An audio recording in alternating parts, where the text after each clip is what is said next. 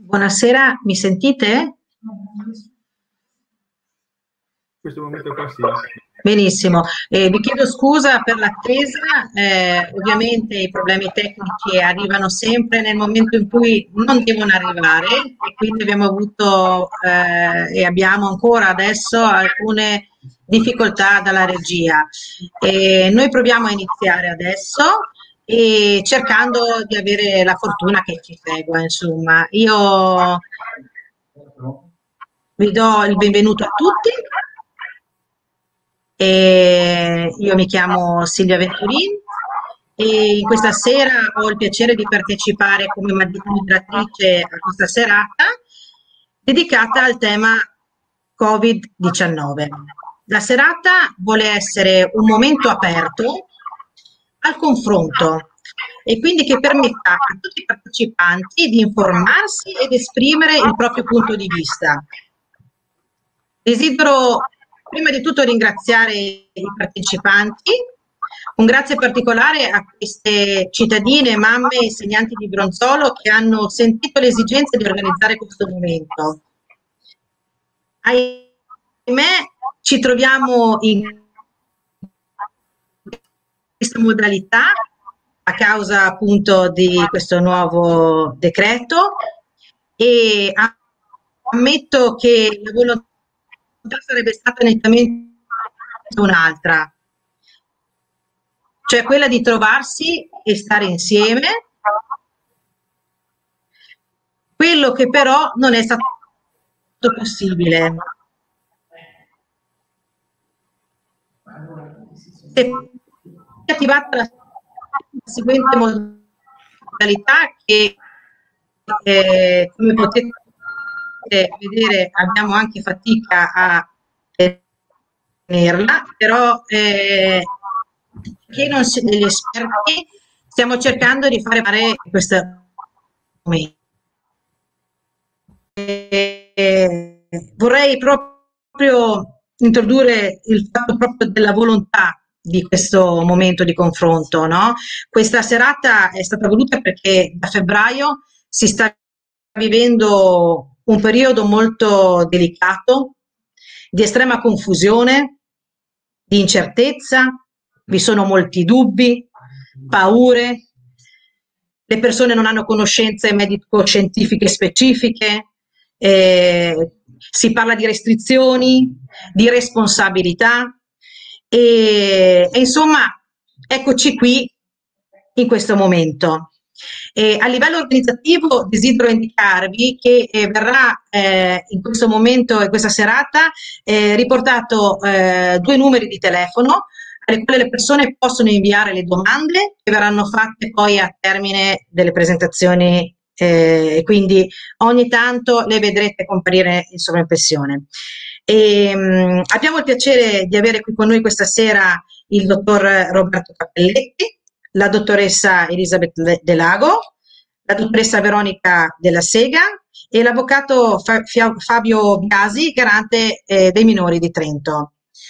E prima di dare inizio però alla nostra serata eh, abbiamo anche il piacere di avere con noi la sindaca di Bronzolo, Giorgia Mongillo, alla quale volgiamo il nostro saluto e, mm, e magari incomincerei proprio da un saluto eh, de, della, della, casa, mi verrebbe da dire, e, e quindi eh, chiederei proprio a lei proprio anche il ruolo della sindaca in questo momento storico, penso che abbia il, il suo perché. E quindi eh, buonasera e proviamo a vedere se eh, intanto riesce a sentire e eh, riesce a collegarsi.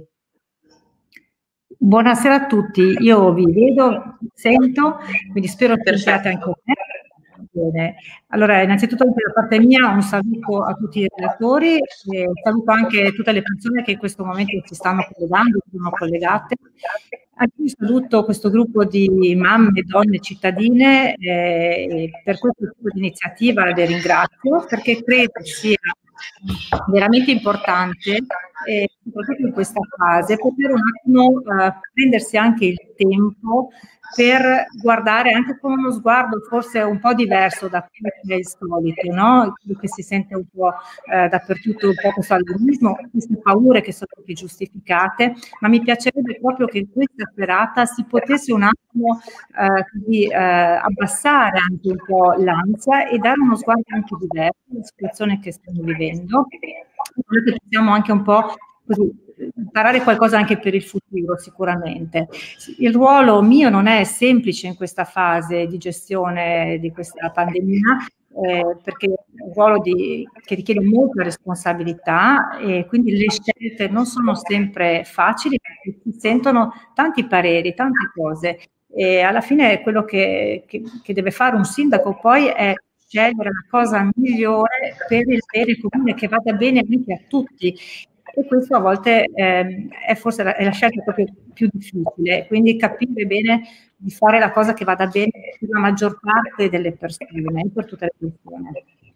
Eh, quindi grazie veramente per questo momento di riflessione, per questa serata. Io spero veramente di poter trovare anche spunti eh, di riflessione per quello che poi dovrò gestire anche nel futuro per la mia comunità. Buonasera, grazie.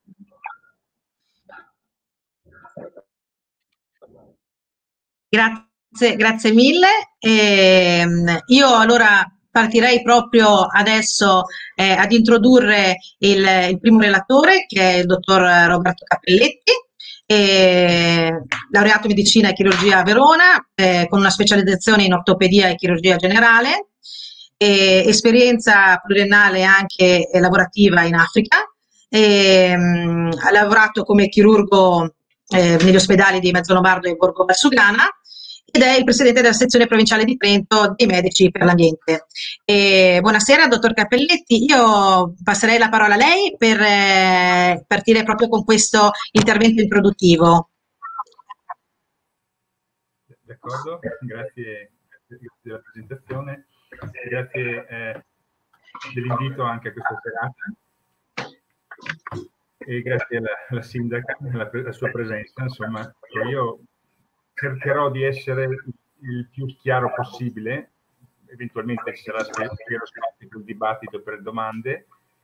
E farò una relazione spero il più asettica possibile, cercando di essere il più oggettivo possibile su quello che è successo, però la mia formazione, diciamo, un po', diciamo, avendo avuto esperienze in Africa, con, avendo conosciuto in quel continente le malattie infettive, sapendo anche la dimensione del problema globale di certi problemi, non, non, non, potrò non essere un po' di parte, ma in ogni caso cercherò di limitarmi il più possibile alle evidenze scientifiche. Allora, la prima diapositiva, non so se la vedete, è, riguarda la, la cosiddetta transizione epidemica. Nel corso del secolo scorso eh, c'è stata una diciamo, transizione fra quelle che sono le malattie infettive che si vedono nella diapositiva alla vostra sinistra e quelle che sono state le malattie cronico-degenerative. Cioè, io non avrei mai pensato, perché vi faccio vedere questa diapositiva? Perché non avrei mai pensato di, di, di tornare ancora, eh, di, di vedere tornare delle malattie infettive che penso che abbiamo debellato con prima di tutto l'igiene, poi la, la nutrizione e il miglioramento delle condizioni economiche e poi in parte con la vaccinazione. E ecco che vediamo rifiorire di tutta una serie di patologie croniche che sono il vero problema. Per dare un, un ordine di grandezza del problema, eh, in un anno in Italia muoiono 180.000 persone di cancro. Ad oggi i, i morti per, per, Covid sono 37.000, insomma l'ordine di grandezza insomma, è un po' diverso. Ma speriamo che si fermi anche lì, quel 37.000, eh, è, anche, è anche troppo così. Eh, la seconda diapositiva vi fa vedere come appunto la, il declino di malattie che come la tubercolosi è venuto ben prima dell'inizio della, della, vaccinazione, per quanto la vaccinazione della tubercolosi non sia un presidio importante, ma eh, prima soprattutto della chemioterapia, della, della, terapia antibiotica, il declino è venuto molto prima, proprio grazie al miglioramento delle malattie, delle, sì, dell'igiene e della nutrizione soprattutto. Ecco, eh, adesso bisogna capire un pochettino se le nostre condizioni di vita sono scadute da qualche decennio in qua da, da far risorgere le malattie infettive, certe malattie infettive, questo sarà spazio probabilmente per la discussione. Ecco, adesso io vi farò un breve resoconto di quella che è stata la storia eh, da, da, praticamente dal dicembre dell'anno scorso ad oggi. Allora, la, la storia del Covid comincia per noi il 31 dicembre del 2019, quando c'è una segnalazione di casi di polmonite atipica a Wuhan, viene fatta una segnalazione all'ufficio del, dell'OMS cinese. Il 7 gennaio c'è l'annuncio da parte delle autorità cinesi che un nuovo coronavirus è l'agente causale del, di queste polmoniti atipiche e, e viene nominato eh, 2019 NCOV, che N sta per nuovo eh, coronavirus. Il 10 gennaio viene pubblicata nel, nel sito, nella banca, del, della banca dati online, la GenBank, viene pubblicato il genoma del virus, pur senza una, pur senza una, una vera e propria pubblicazione per il momento, che sarà, la pubblicazione sarà successiva. Ecco, sulla base di questa, diciamo, pubblicazione del genoma, quindi artificialmente, Drosten, il gruppo di Christian Drosten, ha del, del Charité Hospital di Berlino, eh, ha fatto il famoso eh, test PCR del, tam eh, del, tampone, il famoso test del tampone che noi conosciamo te come test del tampone, ma in realtà tecnicamente si chiama RT-PCR, cioè eh, retrotrascriptasi polimer polimerasi chain reaction, questo è, la, è diciamo, l'estensivo per eh, RT-PCR.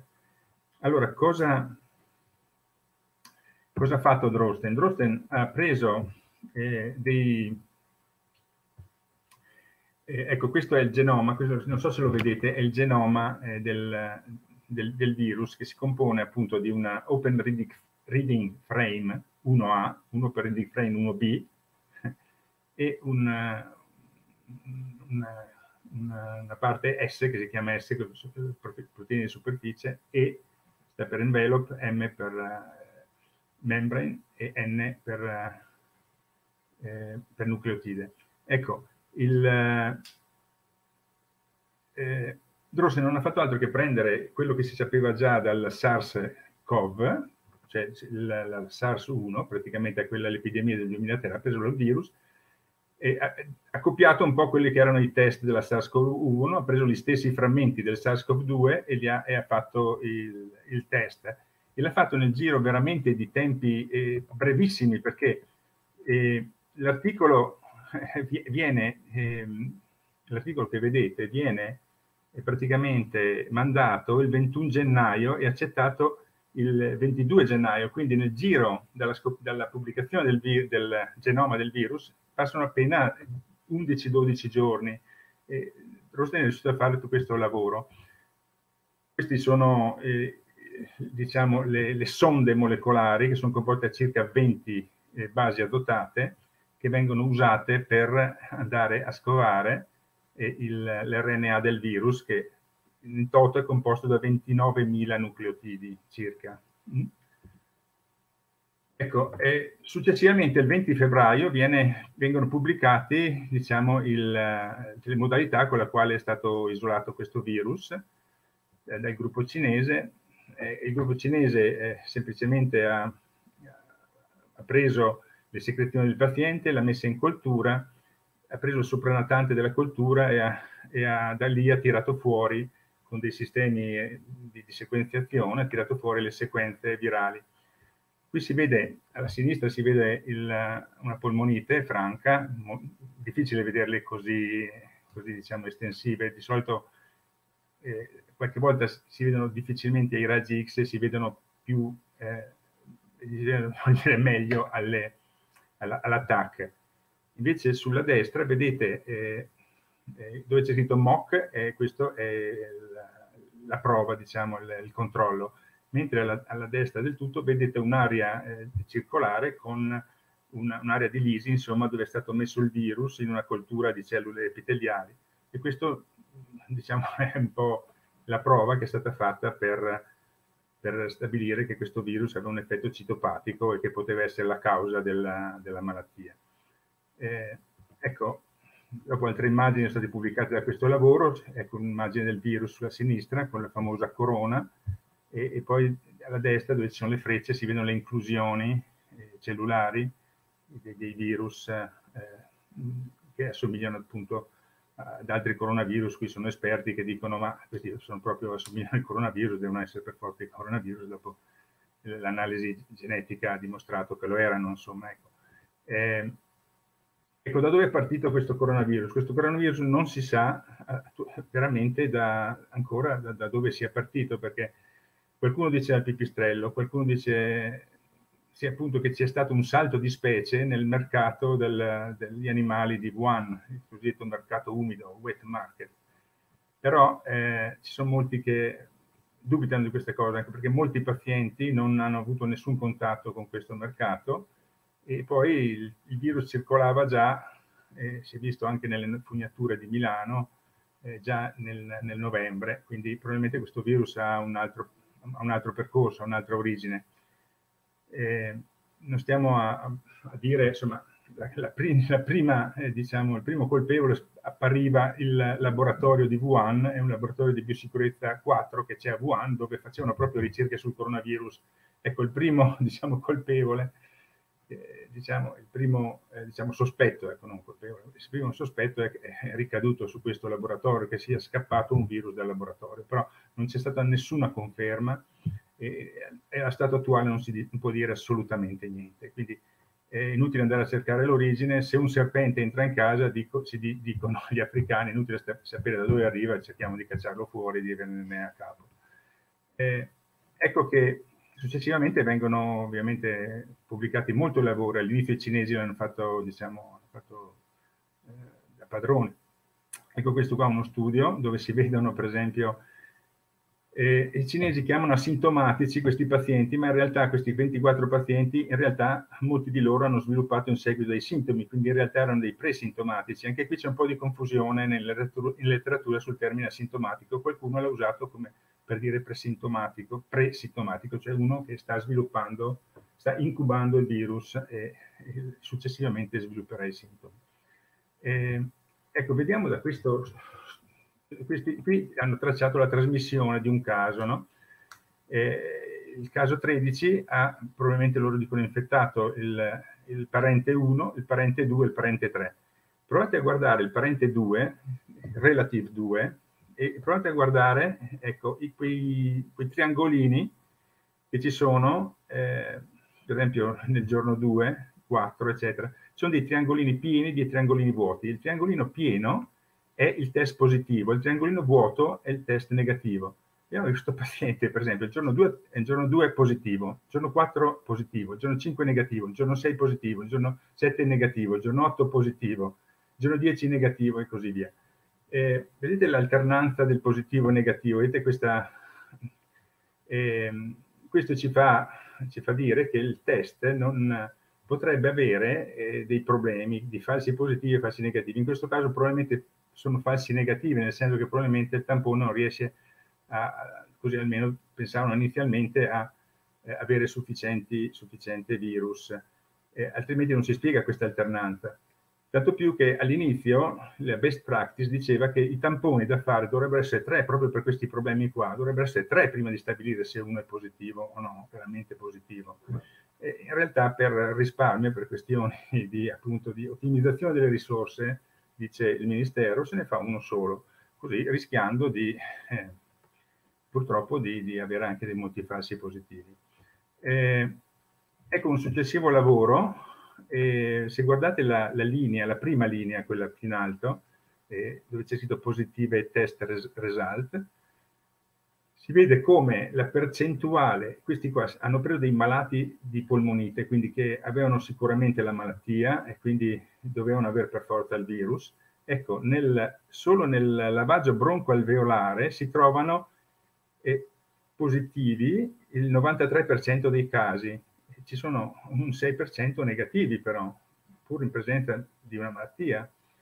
Eh, perfino perfino con lo sputo ha abbastanza, eh, l'escreato, cioè abbastanza buon risultato, sono stato 2%, ma poi se guardiamo i tamponi nasali hanno solo il 63% di possibilità di, di, di, di, prendere il virus, cioè ci sono ben 37% di falsi negativi e, e così, e così, anche il tampone faringeo, 32% di falsi negativi, di, di possibilità di, beccarlo il virus.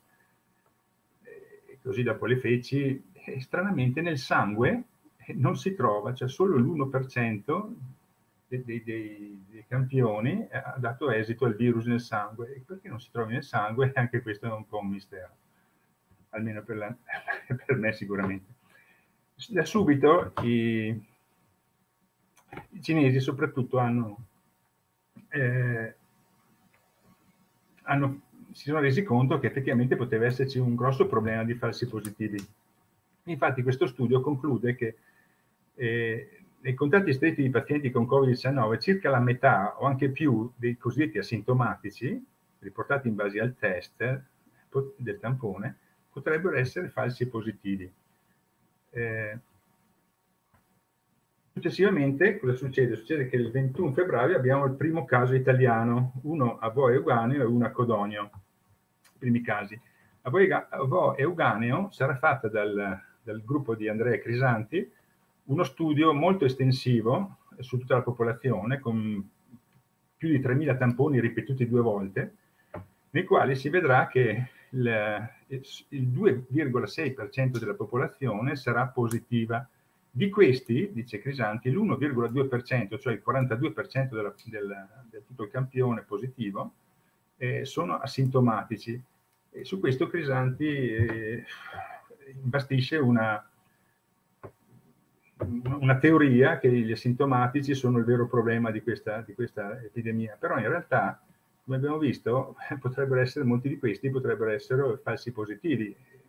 Più avanti magari vi spiegherò anche il perché.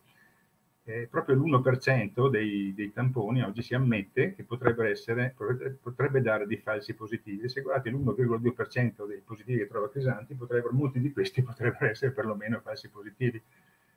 Eh, Ecco che quello che interessa a noi eh, sulla scuola, eccetera, se la trasmissione avviene per via eh, aerea e avviene per l'80% eh, per contatto diretto e soprattutto negli ambiti familiari, ecco che però una, una piccola parte, un 15-20%, potrebbe essere dovuta a, a, un contatto indiretto attraverso oggetti. Eh, ed ecco questo studio tedesco che fa un po' la, il riassunto su quelle che sono le, le, le possibili trasmissioni attraverso gli oggetti dei vari coronavirus e dei vari virus. E trovando per esempio che, eh, però, qui parla del coronavirus del SARS-1, eh, avrebbe una persistenza, in alcuni casi, la, la tabella è un po' complicata, complessa, me la risparmio, ma seguitemi, avrebbe in alcuni casi sul, su superfici metalliche anche un tempo di permanenza fino a, a, nove, a nove, giorni. E, ehm, meno pare sul, sull'alluminio e sulla plastica. E, ecco, invece come disinfettanti, quali, quali sono i disinfettanti che, fanno, che vanno per la maggiore, quelli che vengono consigliati? Sono eh, l'etanolo, l'alcol, basta l'alcol anche al 70-71% e oltre per, per disattivare un uh, coronavirus umano eh, nel giro di un minuto, insomma. Oppure l'ipoclorito di sodio, dice Sibarchina, addirittura la concentrazione dello 0,1% è sufficiente per, per uh, disattivare eh, il virus. E, mh, mm, cosa, cosa, si fa? Si prende per esempio la varechina di casa che di, di solito è ipoclorito di sodio allo 0,5%, si fa una parte di ipoclorito di sodio e 49 di acqua e si ha la concentrazione di 0,1. Eh,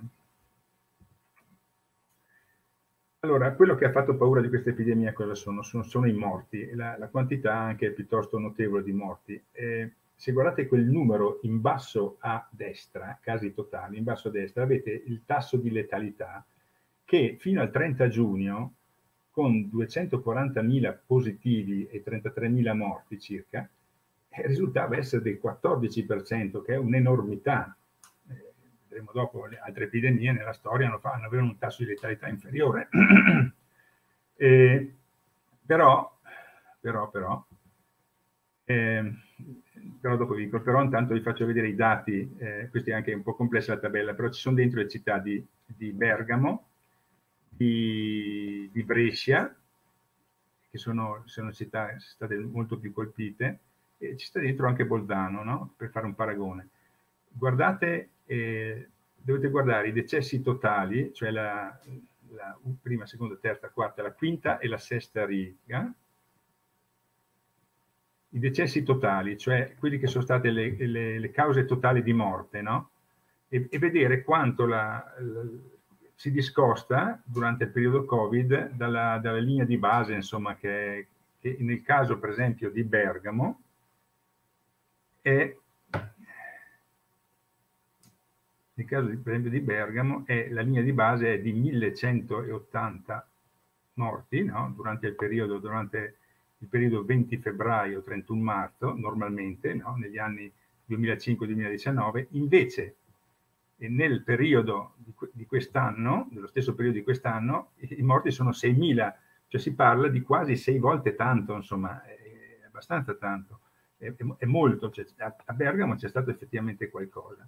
Eh, a Brescia poi è un po' lo stesso, si parla di, di, di quattro volte circa il, il numero di morti usuali, Bolzano va molto meglio, insomma, si, si, 899 contro, contro se, se, se, se, no, 667, sì, c'è, un, c'è un aumento, sì, un, quasi un raddoppio, insomma. Ecco.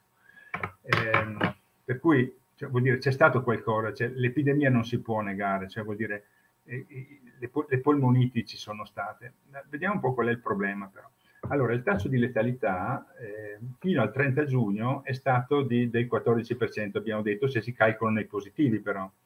Eh, dal 1 luglio adesso al 27 ottobre il tasso di letalità però è sceso dell'1,2%, perché ci sono tantissimi positivi, però pochi, pochi morti, per fortuna, qualche malato, eh, adesso si stanno un po' riempendo i posti letto in ospedale, però ancora la sanità sta tenendo, insomma eh, però è più la paura che, fa, che, che, possa andare avanti all'infinito. Effettivamente c'è il timore, c'è un po' di timore, però insomma, eh, fino adesso diciamo le cose non vanno male, direi il virus eh, non è più quello di, di, non sembra essere più quello di Marco.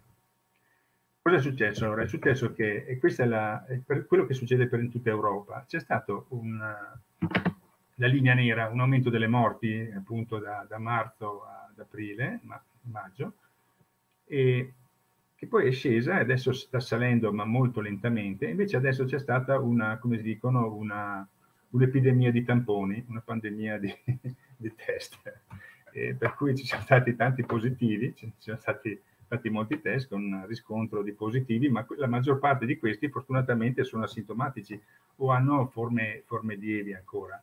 Almeno fino adesso si può dire così, ma eh, noi tutti speriamo che questa ripresa della, della l'epidemia sia, si sia autolimitante a un certo punto e si, si ritorni insomma alla normalità. Certo che fare i tamponi non aiuta. Allora, infection fatality rate, cioè il, il tasso di letalità, globalmente considerato nel mondo, questo è uno studio di Ioannidis della, della, della Stanford University, dice che il tasso di levalità a livello mondiale varia fra lo 0,09% e lo 0,2% se si considerano che cosa però? Non i positivi, ma i sieropositivi, che sono circa il 10% della popolazione mondiale. Al di sotto della, della, di 70 anni il tasso di letalità è dello 0,05%, cioè adesso siamo alla mortalità di una influenza stagionale. Eh, allora è tutto chiaro, è tutto vuol dire nella scienza è tutto tranquillo, le, le, le diatribe sono solo all'interno dei governi, fra, fra, fra negazionisti, estremisti di destra e, e, politiche governative o c'è anche qualcos'altro che va avanti? No, anche nella scienza c'è molta amaretta, ci sono molti, molti, molte discussioni, tanto è vero che ho dovuto, eh, dire, l'editoriale del, dell'Anset del 3 ottobre, intitolato La scienza in una rottura di fiducia. E proprio questa rottura di fiducia nella scienza dice dovuta al fatto che ci sono molte opinioni fra gli scienziati, ma è, giusto che sia così, ma eh, ci sono una, una, grossa fetta di scienziati che criticano le posizioni governative. Sulla destra vedete Wallace e, e, e Vitti, i due esperti inglesi. Ed che ci sono 32 accademici che hanno scritto una lettera a Boris Johnson dicendo di stare molto attento al, fare un secondo lockdown, perché primo il lockdown non è, non è esente esso stesso da, da, inconvenienti, da grossi problemi, eh, sia sul, dal punto di vista psicologico, sia dal punto di vista economico, e, e, e poi, che poi potrebbero incidere anche sulla salute, perché sappiamo che l'economia e la povertà incide sempre sulla salute, e potrebbe proprio colpire le popolazioni più deboli, no? E, ma dice, ma eh, però bisogna stare attenti anche a non fare delle, a prendere delle misure che non siano fondate nella scienza, no? questi, questi, richiamano il governo, dice, cioè, le, misure devono essere fondate e, e certe insomma, nel, nel, nell'outcome, non devono essere delle misure così improvvisate o solo perché sembra che tenendo la gente a casa la vaga meglio. Insomma, bisogna che le misure abbiano un fondamento anche scientifico, ci siano, sia un chiaro obiettivo insomma, per quale si fanno queste misure. L'obiettivo in primavera era quello di eh, rallentare la curva epidemica affinché, dando modo agli ospedali di accettare i malati e di poter curare i malati. E adesso però non si capisce qual è l'obiettivo di questi lockdown, perché per adesso la sanità sta tenendo e non si vedono all'orizzonte delle, delle, grosse, delle grosse ritorni di fiamma. Altra, altra diciamo, diatriba, cioè, Crisanti ci dice che bisogna fare i test a tutti, bisogna fare più test, eccetera, però questi, questi professor Enegam e Tom Jefferson della, dell'Università di Oxford, della, della medicina basata sulle evidenze, dicono che invece eh, fare più test di massa potrebbe essere addirittura controproducente.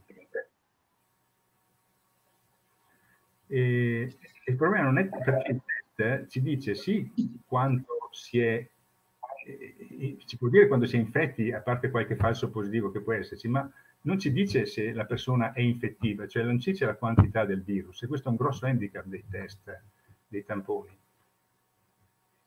E poi ci sono, ci sono altri problemi che adesso sarebbe troppo lungo anche raccontarvi, nel senso che anche ci sono stati fatti delle, delle, dei tamponi del, su 19 positivi che hanno trovato quest'estate, eh, ebbene quasi tutti erano al secondo test erano risultati negativi, erano probabilmente dei, dei, dei falsi positivi se a un certo punto il numero di cicli nel, nel processo è troppo alto, si rischia di, eh, di, di, di, avere un, di trovare contatti, dicono. Cosa ci dice il, il rapporto dell'Istituto Superiore di Sanità? Ci dice che eh, ci dice, ho dei ritorni, cioè, mi sentite? La sentiamo bene, la sentiamo bene.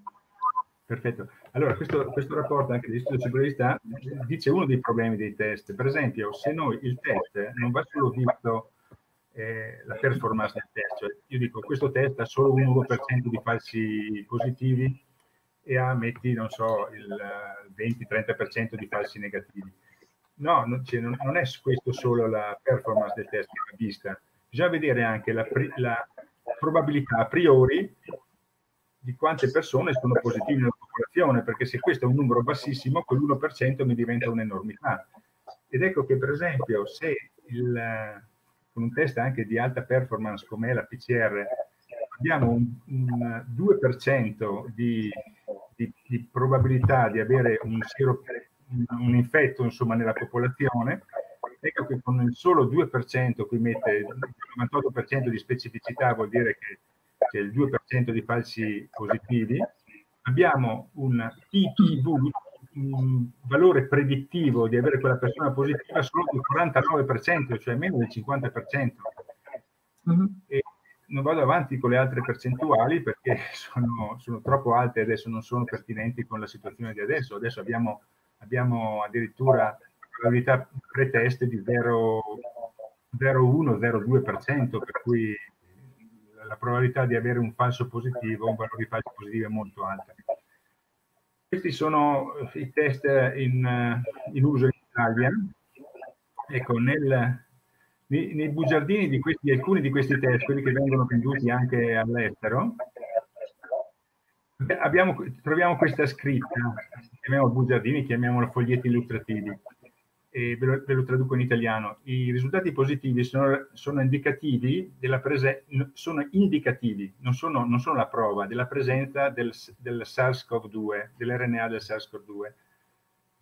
La correlazione è necessaria però una correlazione clinica con la storia del paziente e altre informazioni diagnostiche per determinare lo stato infettivo del paziente. Un risultato positivo non può escludere altre infezioni batteriche o una coinfezione con altri virus e quindi l'agente trovato può non essere la definitiva causa della malattia. Questi sono in tutti i fogli illustrativi, l'FDA gli impone di mettere questa cosa qua perché dice prima di tutto non c'è nessun test che è ehm, al 100% specifico e sensibile, prima cosa. Seconda cosa, eh, i test vanno sempre visti, i risultati dei test vanno sempre visti alla luce della clinica e questo ce l'hanno sempre insegnato a scuola di medicina.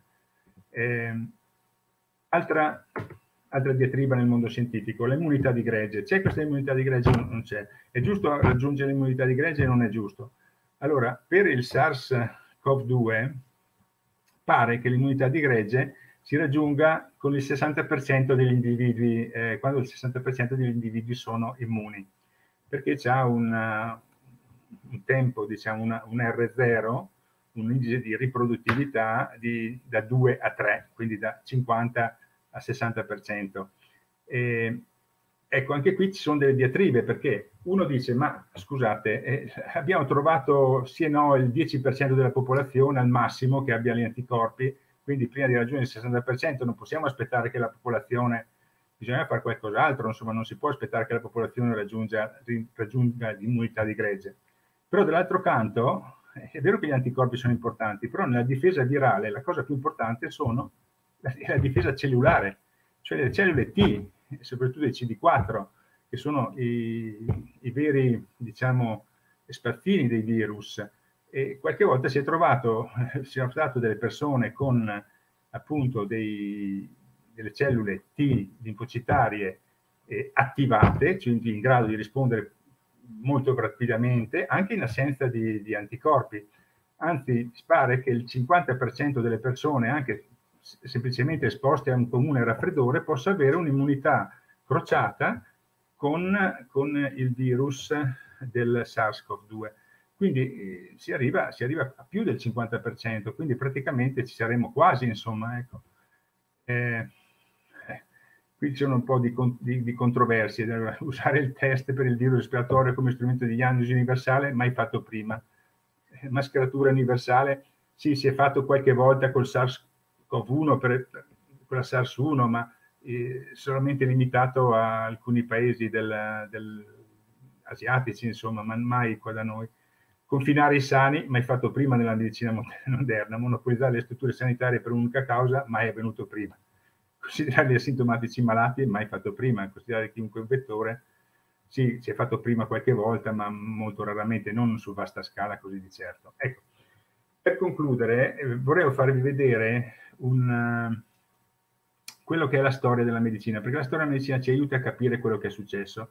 Le epidemie del passato ci possono aiutare anche per capire ci sarà la seconda ondata o non ci sarà la seconda ondata, no? E allora, eh, per rispondere a questa domanda qua, eh, andiamo a vedere cosa è successo nel passato. Allora, le prime epidemie di cui abbiamo memoria è l'epidemia del 1848-49, ma lì ci sono pochi dati. Andiamo invece alla, alla successiva, quella del 1889-90.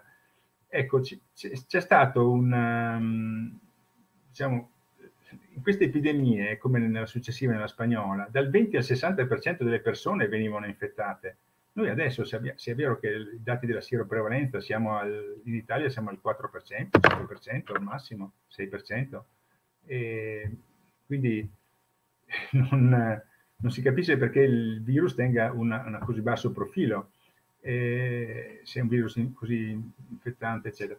Eh, questo è il primo dato un po' anomalo. Eh. L'altro, dato anomalo, vedete la, il tasso di letalità va dal 0,10 al 0,20% per eh, la pandemia del 1889-90, va sul 2-3% per la, per la pandemia eh, del 1918. Però quello che si vede in queste pandemie è che non c'è stato quasi mai, ad eccezione della spagnola del 1918, non c'è stato quasi mai una, una, diciamo, un'ondata di ritorno. Si è svolta solo in un, in un inverno praticamente.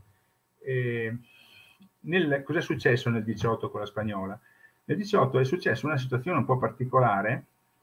L'epidemia parte da, da, da Camp Funston, nel, nel Camp Riley, è una, è una, nel Kansas, dove si addestravano le reclute che dovevano partire per il fronte.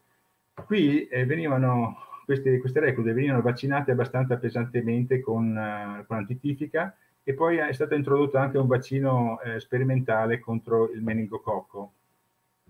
Eccolo qua, qui c'è il, il, il, rapporto eh, di, questo vaccino, di, questo vaccino, che era stato fatto proprio in gennaio, no? In gen- hanno cominciato in gennaio la vaccinazione. l'autore di questo lavoro, vedete, Frederick Gates, non è, non è, imparentato con Bill Gates ovviamente, ma è il figlio del, di quel Frederick eh, Taylor Gates che è il eh, direttore della eh, Rockefeller Foundation, eh, che, che, da, che, da, qui in poi si occuperà molto di, di, di questioni mediche e soprattutto si interesserà molto sulle, sulle vaccinazioni. Eh, cosa succede? Succede che questi militari, allora il primo caso, il primo morto è nel marzo, un certo Albert Gitschel, cuoco della compagnia, nel, marzo, nel 4 marzo del, del 1918 si ammala e muore. E da qui, dall'epidemia, dal Kansas e dal centro di arrestamento, si porterà però presto al fronte. Ed ecco che questa è per esempio è la curva di Londra. Perché si dice la seconda ondata è stata peggiore? Ma la prima praticamente non c'è stato, c'è stato pochissimo, perché eh, sono stati i militari che sono arrivati nei porti europei, lì hanno lasciato qualcosa, c'è una piccolissima epidemia, ma la vera epidemia è stata nell'inverno, nell'inverno e primavera del 8-19. Quindi questa è stata la vera epidemia e, e, si vede anche la mortalità, si vede eh, stranamente si prende le persone fra i, fra i, 20 e i 45 anni, di più che non, che non gli anziani. Vediamo le curve di New York, la curva di New York copia un pochettino quella, quella di, quella, eh, di, di, Bergamo, perché arriva, arriva vedi, da, da, un 10%, se si parte da un 10% per mille di mortalità, che è la mortalità di base, anche noi circa la mortalità da noi è, l'1% la mortalità generale, no? E si arriva, e qua si arriva fino a sei volte tanto, quindi a New York. Ci sono delle città che sono arrivate fino a 100 volte tanto, quindi ecco. Però si vede questo, questo andamento bifasico, no? Alcune, in alcune città l'andamento bifasico, cioè una seconda ondata verso gennaio-marzo, no? Una seconda ondata, eh, ma sempre nell'inverno, diciamo 2018-2019, di Rochester, dove c'è stata tutte le città, ci sono i dati per tutte le città, ve li risparmio. Eh, ecco che quello che c'è da dire anche sotto, sotto questo aspetto, no? In queste, in queste, epidemie cosa si faceva? Si vaccinava. E con cosa, contro cosa si vaccinava? Ancora non si conosceva la causa, eppure si vaccinava contro una serie di batteri perché si erano visti che la gente, si era visto che la gente moriva di infezioni opportuniste, no? Allora si vaccinava contro una serie di batteri, del, dal pneumococco, si era trovato come, si era discusso per anni sulla, sulla, sull'Hemophilus influenzae come agente dell'influenza, eccetera, il cosiddetto bacillo di Pfeiffer, eccetera. Però eh, questi continuavano a, a, proporre le vaccinazioni ed erano su larga scala, sono state fatte queste vaccinazioni con questi batteri, finché a un certo punto, grazie a, a, a McCoy, John McCoy, che era del Dipartimento di Sanità Pubblica, a un certo punto lui metterà i paletti per dire quali vaccini sono, eh, per mettere appunto le, le, per definire quali sono le, gli studi da fare per dire se un vaccino è efficace o non è efficace. Infatti questi vaccini verranno tutti cassati perché nessuno di questi vaccini funzionerà. Ecco, come, come ultimo messaggio direi sì, va bene, io personalmente, con, avendo studiato medicina, essendo stato in Africa, eh, avendo vissuto a contatto con i tubercolotici, avendo, avendo fatto di ogni, avendo preso l'epatite anche sì. a... Cioè, io non ho paura di morire di una malattia infettiva, ho più paura delle malattie croniche, degenerative, dei tumori. Eh, per cui direi, direi bisogna essere prudenti, perché non si sa da qui in avanti come andrà a finire, quanto resterà questo virus fra noi. Io sono ottimista, però non bisogna fare in modo che la paura prenda il sopravvento e che manovre e misure irrazionali causino più danni che altro. Noi sappiamo da Tucidide che Atene non, non so, è, è, è, praticamente stata sconfitta non dalla, dalla, peste, ma dalla paura della peste, questo che diceva Tucidide. Quindi dobbiamo avere più paura della paura stessa, non, non tanto di queste cose queste cose vanno affrontate razionalmente e vanno eh, certo. e con eh, comportamenti diciamo, eh, logici. Ecco, basta. Io mi, mi, concludo qua e aspetto, diciamo, se ci sono delle domande, sono a disposizione. La, la ringrazio eh, dell'intervento e mh, mm, concludiamo appunto con eh, la prudenza e l'ottimismo che portiamo con noi. E, mh, mm, e passiamo ehm, adesso al secondo intervento che invece vede ehm, la dottoressa Elisabeth Lago. Buonasera. La dottoressa è eh, una pediatra di Ortisei e durante questi mesi anche lei ha avuto la possibilità di visitare molti pazienti eh, Covid-19 sia in Val Gardena, eh, è responsabile appunto delle visite domiciliari dei pazienti eh, a Bressanone presso l'unità speciali di continuità assistenziale. E lei questa sera eh, ci introdurrà un po' anche la tematica eh, inerente ai bambini, ai ragazzi, alla scuola in questo momento della pandemia. E lei, se lei mi sente, dottoressa, eh, può intervenire nella sua madrelingua. se eh, la dottoressa appunto farà il suo intervento in, in lingua tedesca, poi eh, tutti i concetti verranno poi riassunti anche in lingua italiana. E, intanto ehm, eh, mi, mi, dicono che deve, eh, deve anche condividere lo schermo, se fosse possibile. Con la presentazione. La ringrazio.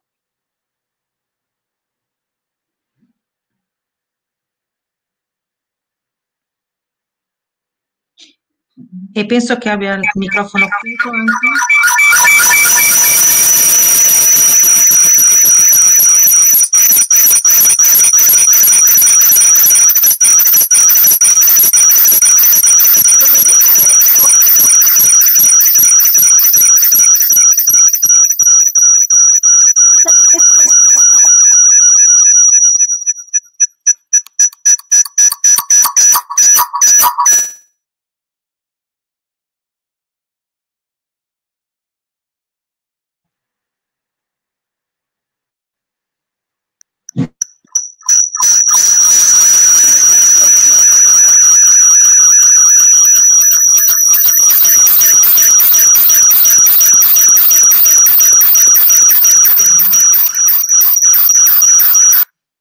Vediamo di risolvere questo piccolo problema tecnico.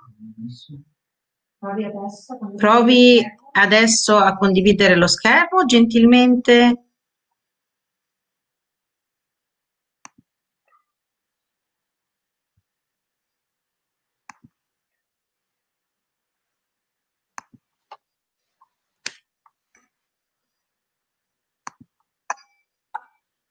Funziona? Allora, intanto la sentiamo? Sì? Perfetto. Buonasera, dottoressa. Sì, buonasera a tutti. Adesso io farei, farò la relazione per, per tedesco per far eh, lingue e vi faccio ogni tanto un piccolo riassunto di quello che vediamo. Uh, io par parlerò sui, sui bambini e giovani e la scuola. Äh, guten Abend an alle. Jetzt äh, meine erste Grafik, da sehen wir, äh, wo die Infektionen herkommen. Und wenn wir ganz rechts anschauen, die rechte untere kleine, ganz das kleine rote, das ist eigentlich die Infektionen über Schule, über Kindergarten, Hort.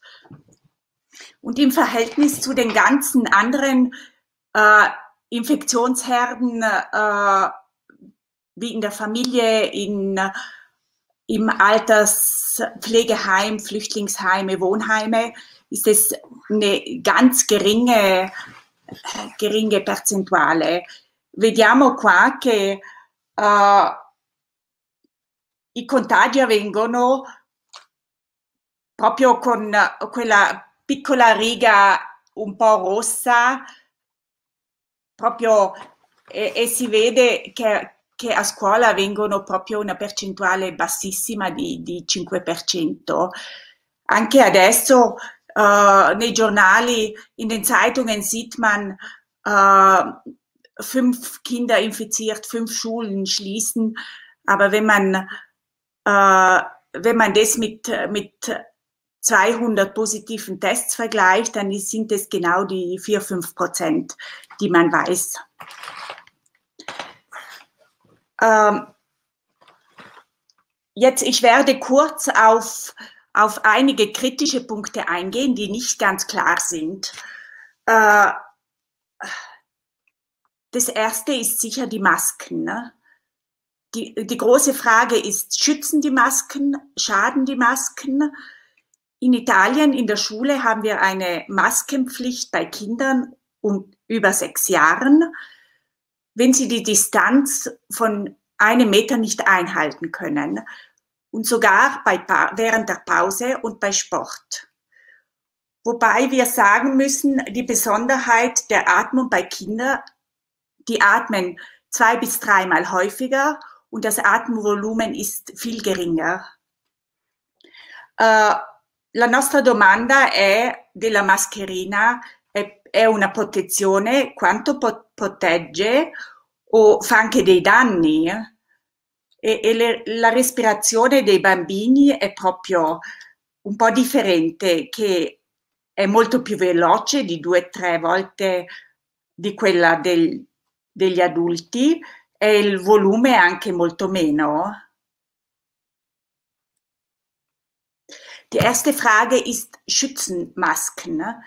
Bisher, bisher hatten wir keine, keine wichtigen Studien über die Effizienz von Masken. Und ganz neu ist eine Studie erschienen von, äh, aus Japan, die sagt, eine Stoffmaske, wie wir sie in der Schule benutzen äh, auf der Straße, reduziert die Virusmenge um 17 Prozent eine chirurgische um 47, wenn einer Virus infiziert ist, immerhin um 70. Und letztendlich einen hundertprozentigen Schutz ist durch die Maske nicht gewährleistet. Le maschere cosa fanno?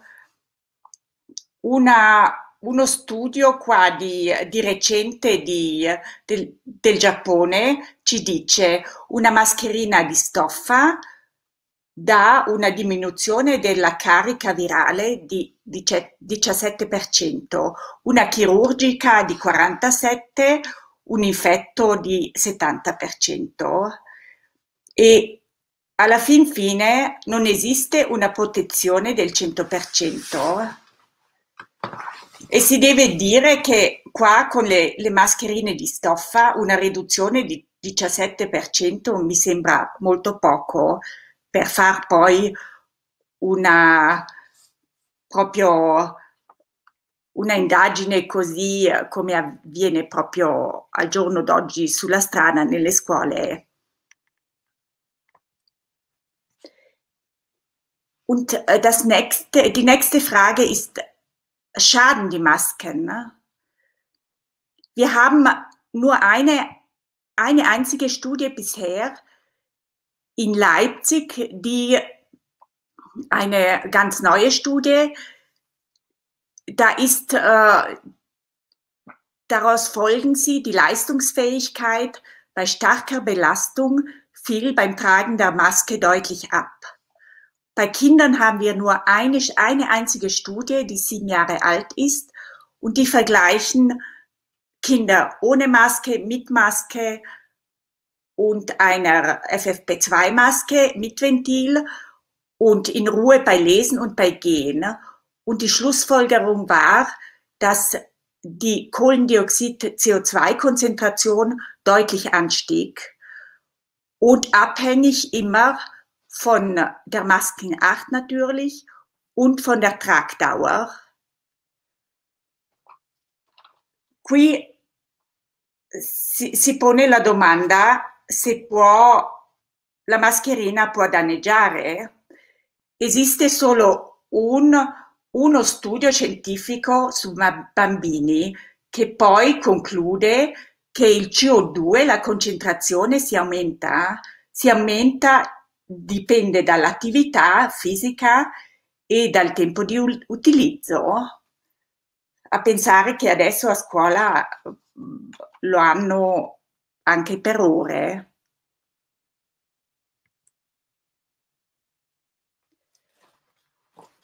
Eine Studie des Umweltbundesamtes äh, zeigt, dass CO2-Werte von 1000 ppm und höhere, praktisch äh, die Werte über 1000 folgende Beschwerden führen. Kopfschmerzen, Müdigkeit, Schwindel, Konzentrationsschwäche. Und bei asthmatischen Kindern kommt es zu häufig zu einer Häufung von Asthmaanfällen und zu Atemwegsinfekten. Ne? E qui l'Agenzia Federale dell'Ambiente di Germania prende i valori sopra di, di 1000 ppm, dicono i sintomi ci sono sopra i 1000, sono mal di testa, vertigine, problemi di concentrazione e dai bambini asmatici che hanno più attacchi asmatici e più infezioni. E qua si vede proprio anche i limiti che, che qua ci concentriamo su mille e mille oltre, sotto i mille a posto piuttosto, ma oltre mille è proprio da preoccuparsi. Hier eine Studie ganz neu, drei Tage alt, vom Lande, von der Landesagentur für Umwelt und Klimaschutz vom, uh, von der Provinz Bozen gemacht. Und da sehen wir, erschrecken Sie nicht mit der Tabelle, aber wenn Sie sehen Stepper, das heißt unter leichter Bewegung, da schauen wir ganz rechts unter dem und, unter Mittel sehen wir die CO2-Werte ohne Maske haben wir einen Wert von 280 und bei Bewegung mit selbstgenähter Maske 5230. Das ist das 20-fache von oben, wenn wir denken, das Limit an Gesundheitsschädigern der Konzentration haben wir bei 1000 gehabt. Und hier ist auch zu, zu bemerken oder auffällig, dass eine chirurgische Maske das Limit viel, viel weiter unten ist, die Werte. Die sind nur bei 3570, Schlauchtuch auch sehr hoch, aber die selbstgenähte Maske ist eigentlich die schlimmste. Qui vediamo una ricerca uh, dell'Agenzia dell'Ambiente con i valori della maschera con e senza movimento e con movimento quello giù stepper e a destra a destra si vede i valori senza mascherina che sono a 280 ppm e poi con mascherina di stoffa giù in fondo 5230. Ricordiamo che il limite di proprio era di, di 1000 e la masch mascherina chirurgica è, è molto meno di valori. Jetzt nochmal in der Grafik, man sieht, sieht Ganz links die CO2-Werte, die normalen, mit und ohne Bewegung und mit selbstgenähter Maske, wie hoch die sind, über 5000. Qui si vede di nuovo quella correlazione tra CO2 senza mascherina e a destra con la mascherina che, che è oltre 5000. Und hier die Schlussfolgerung äh, der, der Besprechung, no, le mascherine non sono tossiche, die Pressemeldung. Und Schlussfolgerung aus dieser Studie ist, die erhaltenen Ergebnisse beweisen und unterstreichen, dass die Räumlichkeiten, in denen die Vorschrift herrscht, Schutzvorrichtungen zu tragen, optimale Lüftungsmöglichkeiten haben müssen. Das heißt, dass die CO2-Konzentration immer unter 1000 liegen sollte. Qua si vede uh, gli articoli stampa, no, le mascherine non sono tossiche e la conclusione di questo tutto, di, di questa ricerca è che l'aria all'interno non, ha, non deve avere valori oltre 1000 e qua Così si deve avere una ventilazione o ottimare la ventilazione. Questa è la conclusione.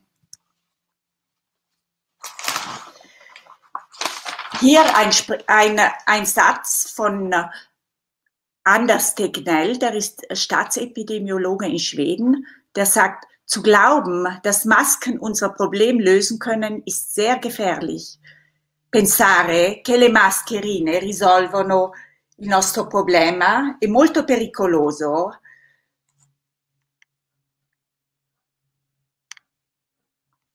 Die nächste Frage ist, was nützen uns unsere Hygienemaßnahmen? Desinfektionsmittel enthalten 70 bis 80 Prozent Ethanol und sind extrem gesundheitsschädlich. Sie sind antibakteriell, man hat die drei Klassen von Desinfektionsmitteln und führen sehr stark zu Hautreizungen mit Ekzemen, Infektionen und gerade bei Kindern die Augenverätzungen. Wie schnell man mit den Händen in, in den Augen ist, sehen wir auch als Erwachsene. Die Desinfektionsmittel sind 10 bis 100 mal stärker als Waschen mit Seife und sind überhaupt nie für Kinder geprüft worden.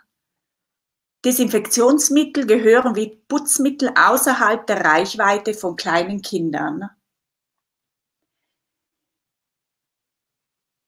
Qua col tema igiene, quello ci porta molte volte, abbiamo visto nel, anche nelle ultime settimane, problemi, irritazione di pelle e proprio gli occhi, ustioni chimici agli occhi. E e questi disinfettanti sono 10 a 100 volte più potenti che il lavaggio con sapone. Come i prodotti per la pulizia non devono mai essere a portata di mano dei bambini. Hier möchte ich Ihnen eine Studie vorstellen des Professors Henrik Streeck im April äh, in, im April 2020 bei einem Hotspot äh, in der Nähe von Bonn. Die Ergebnisse der Studie waren, äh, Covid-19 hat eine Sterblichkeit von ungefähr 0,37 Prozent. Damals hatte man noch zehnmal mehr angenommen. Es gibt 30 Prozent asymptomatische Fälle. Die Übertragung erfolgt nicht über Oberflächen und Gegenstände. Er hat dabei wirklich in infizierten Familien äh, über 100 Proben genommen von Gegenständen, äh, Türklinken, Toiletten. Äh, und letztendlich hat es auf den Oberflächen nur drei Prozent äh, Virusnachweis gegeben, wobei nachher es war kein infektiöser Virus nachweisbar. Das heißt, das Fazit ist, die Übertragung erfolgt nur über engen Kontakt durch Tröpfcheninfektion und Aerosole und Oberflächenkontamination, Übertragung können wir so gut wie vergessen. Ne? quella ricerca di Heinsberg, che erano i primi che hanno proprio contribuito a, a fare uno studio proprio nelle, nelle case, nelle famiglie, e la conclusione è proprio della mortalità e che i, i casi sono proprio 30% e oltre di asintomatici e che la superficie non si trova proprio viri attivi sulla superficie e sugli oggetti. E a pensare adesso con, con tutte queste disinfezioni, um, se, se, ha una, una uh, proprio una relazione giusta con quello che facciamo, con quella, tutta quella disinfezione proprio nelle scuole asilo.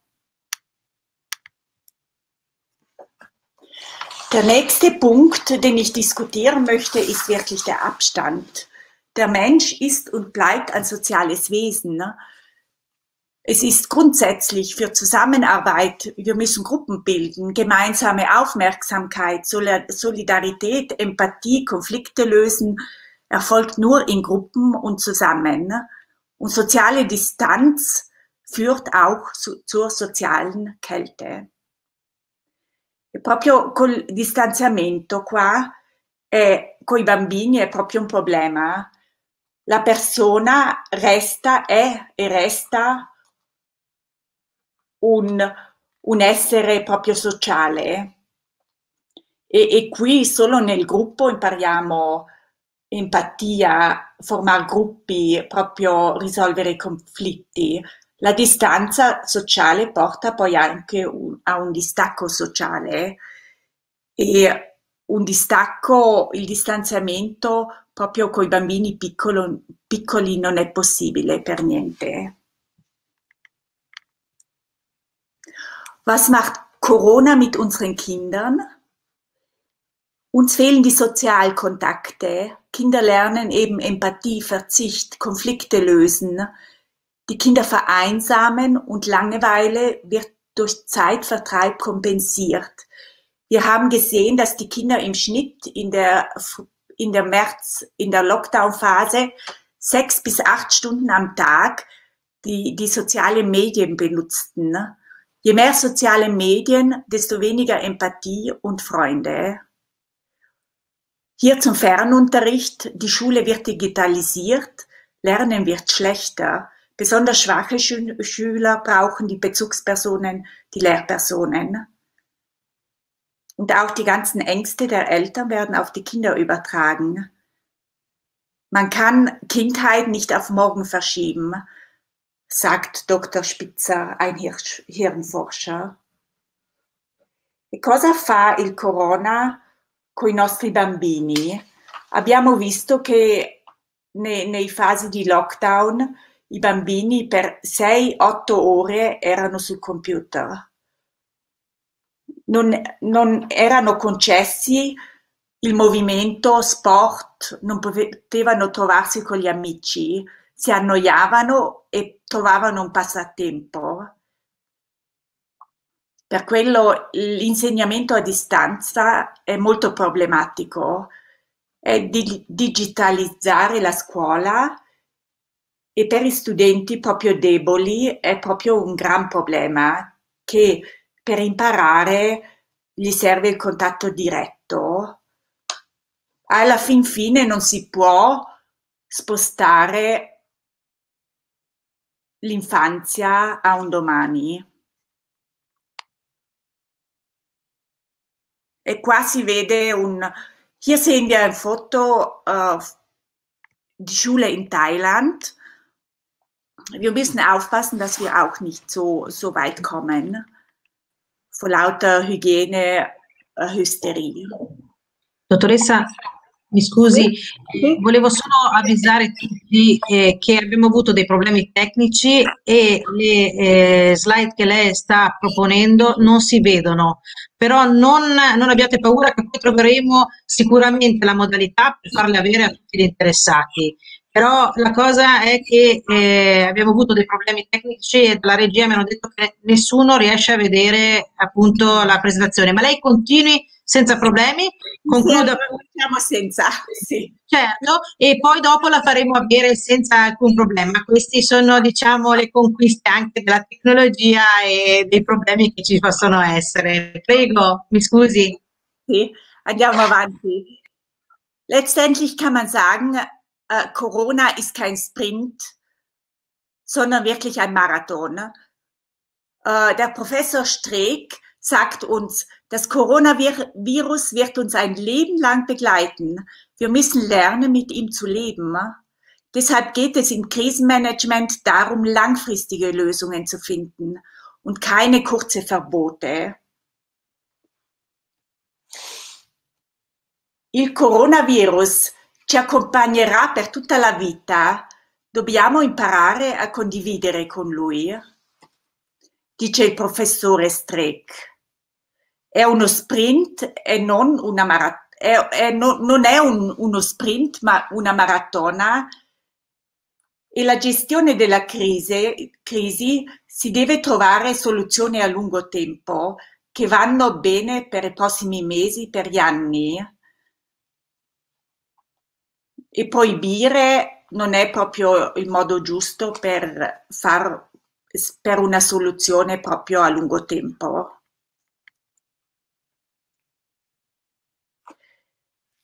Jetzt zum Schluss noch ein Gedanke von Benediktiner Norgen Wolf. Eine Gesellschaft, die nur angstvoll an ihre Sicherheit denkt, läuft Gefahr, unmenschlich zu werden, ohne es zu merken. Una società che pensa solo con ansia alla sua sicurezza, corre il pericolo di diventare disumana. Senza notarlo. Und hier zum Schluss möchte ich kurz noch anführen, dass mein, mein Wunsch einfach, dass wir für die Zukunft oder für, für die nächsten schweren Wochen einfach menschlicher im Umgang werden, menschlicher in der Medizin und man wirklich abwägen muss, ob, ob jetzt die Maßnahmen schlimmer sind oder ob der Virus wirklich äh, schlimmer ist. Alla fin fine vorrei anche dire che proprio uh, dobbiamo condividere con questo virus e trovare soluzioni umane uh, e non che, il, che tutte le misure sono peggio del virus stesso. Grazie certo. a tutti. Grazie a lei e del suo interissimo eh, intervento.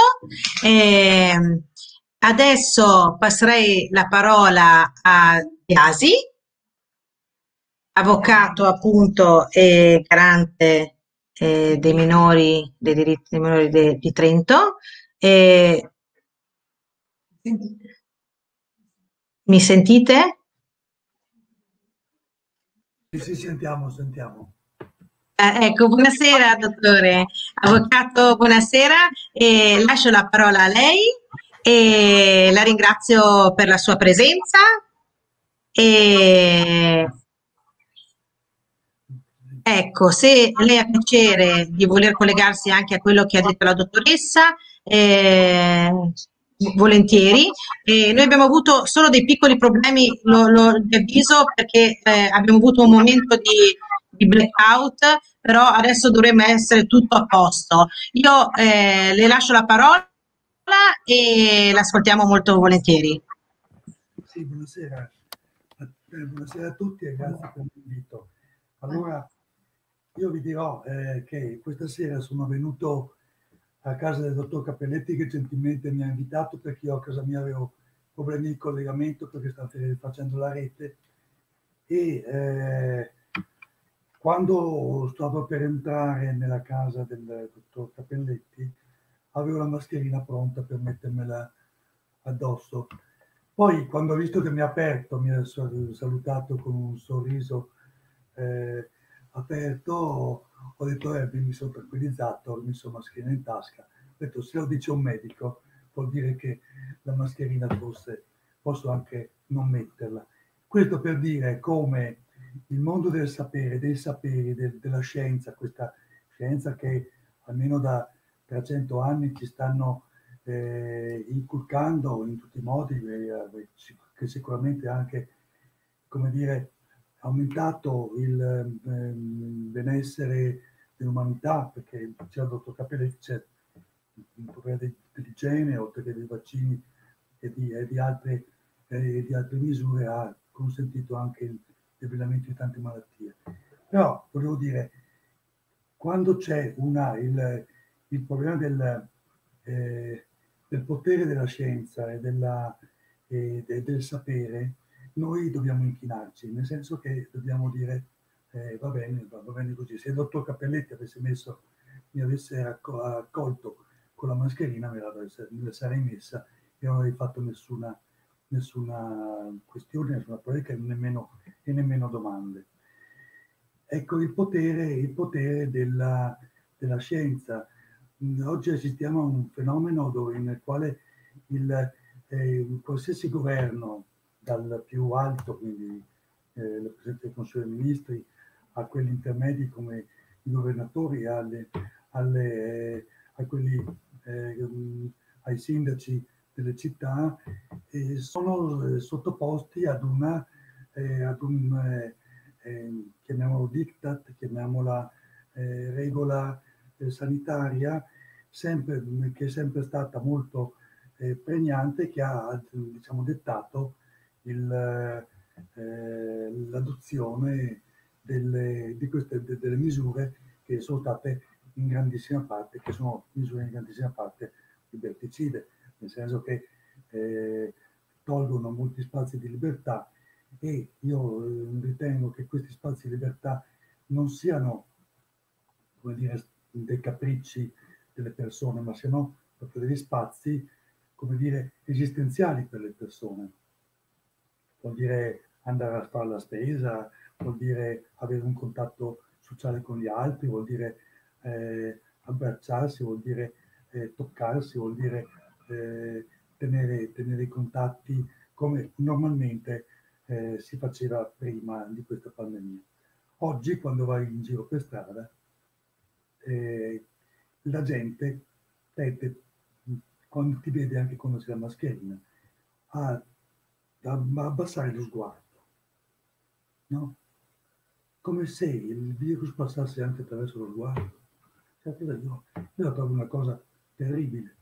Ehm, tant'è che ogni tanto mi, mi verrebbe da, da dire, no, insomma, guardami in faccia, no, guardiamoci in faccia, non, non corriamo pericoli. Ecco, detto questo, vi dirò che il, per, per, andare nel mondo della scuola, eh, l'ufficio del garante è stato interessato eh, in più occasioni eh, da eh, segnalazioni di eh, atteggiamenti eh, all'interno delle scuole molto punitivi nei confronti eh, dei ragazzi. Io ricordo un, un, episodio molto recente in cui due, tre studenti sono stati sospesi per tre giorni l'uno eh, per aver essersi scambiati delle bottigliette di acqua. Ecco, io non, non, credo che questa sia la via, come dire, eh, per mh, affrontare il virus. Mh, mh, c'è una via, eh, questa è una via di paura, come diceva il dottor Cappelletti, come diceva la dottoressa Delago, c'è una via di paura che non, non dobbiamo, dobbiamo, ribellarci a questa, a questa impostazione. Le paure lo sappiamo che spesso in psicologia sono, come dire, richiamano l'evento. Io più ho paura di una cosa, più questa cosa rischia di avverarsi. E credo che proprio il, il, ribellarsi contro questa cultura della paura, contro questa cultura della, del, del, sospetto, il virus è visto come una specie di cavallo di Troia che si insinua ovunque, che, che arriva ehm, eh, da, da, ogni parte, che ci, che, mh, mm, ci insidia, che ci limita eh, che ci fa ammalare. Allora, di fronte a questo, è chiaro che i bambini i ragazzi sono certamente più esposti, questa, certamente anche il mondo adulto, io credo che siamo tutti un po' in questa barca eh, molto, molto, dolorosa direi perché non, non, c'è da ridere, non c'è da, da, da, stare allegri, soprattutto in prospettiva dei, dei mesi che arriveranno. Però credo che proprio quando parliamo per esempio di bambini, dobbiamo anche pensare che, mh, come dire, non c'è soltanto l'aspetto sanitario, eh, quello della tutela eh, fisica, materiale della, della malattia, no? E noi siamo un tutt'uno, non abbiamo soltanto un corpo eh, che si può ammalare, che può eh, degradare, perché eh, si diventa anche vecchi, ma abbiamo, abbiamo tutta una serie di eh, elementi che ci contraddistinguono, sono, sono elementi che fanno parte della persona umana, c'è una psiche oltre un soma, no? C'è una, c'è una psiche. Se noi continuiamo con la, con la paura a dover difenderci, a doverci difendere a spada tratta da una cosa che forse non conosciamo ancora, speriamo che poi la ricerca riesca a, eh, diciamo così, eh, risolvere alcune problematiche, però se non, non riusciamo ad uscire da questo clima di terrore, perché parliamoci chiaro, le scuole sono state trasformate quasi in carcere di massima sicurezza, questo non va bene. Non è possibile che un bambino, eh, per esempio, reprima un colpo di tosse, un raffreddore, mi è stato riferito questo, perché ha paura che se poi va in quarantena o se poi va in isolamento, poi gli altri compagni non, non vogliono più giocare con lui. Questo è un terrore vero e proprio. Allora, queste cose dobbiamo evitarle. Credo che anche chi ha la responsabilità delle scuole, più che eh, diciamo, occuparsi di una propria tutela, come dire, penale, no? Perché eh, c'è anche questo da dire, dovrebbe occuparsi della vita degli altri, della vita anche dei bambini, dovrebbe sapere che ci sono delle norme eh, nei protocolli che sono assolutamente incompatibili con, con le leggi naturali dell'uomo, no? Come diceva la dottoressa eh, Delago, eh, l'uomo è per sua natura un essere sociale, non si può pretendere che i bambini stiano distanziati, eh, anche perché appena fuori da scuola succede che, lo sappiamo tutti, cioè queste norme non vengono, non, non vengono più rispettate e, i bambini poi si abbracciano, si saltano addosso, fanno, fanno la lotta e questo lo sappiamo tutti. Allora possiamo anche mettere da parte un po' di ipocrisia e chiedere per esempio ai dirigenti scolastici di fare, di fare un, un, po' un passo indietro perché non, io non lo so se queste norme sono molte, probabilmente sono le norme più efficaci per combattere il virus, ma con queste misure, con questa punitività, con questo eh, senso della, eh, anche dell'umiliazione di quello che in realtà siamo e di, di come dire, il soffocamento che in realtà siamo, eh, non, non, non, vedo, non vedo una, un, delle, delle, delle vie d'uscita eh, gioiose.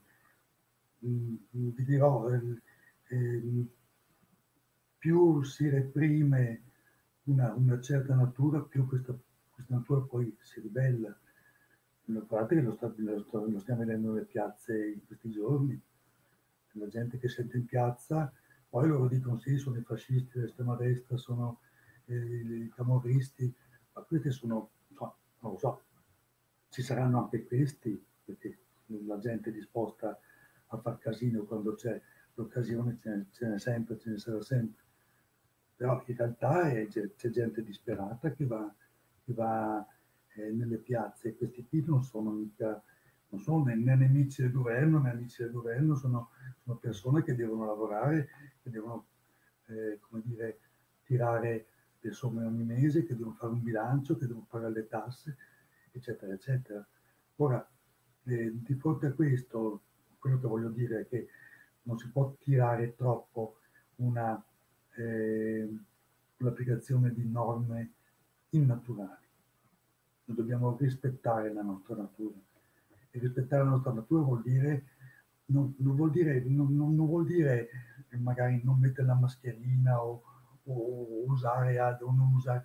Certo, bisogna usare le precauzioni, ma per esempio il, l'igiene a scuola deve essere una cosa dovuta per natura.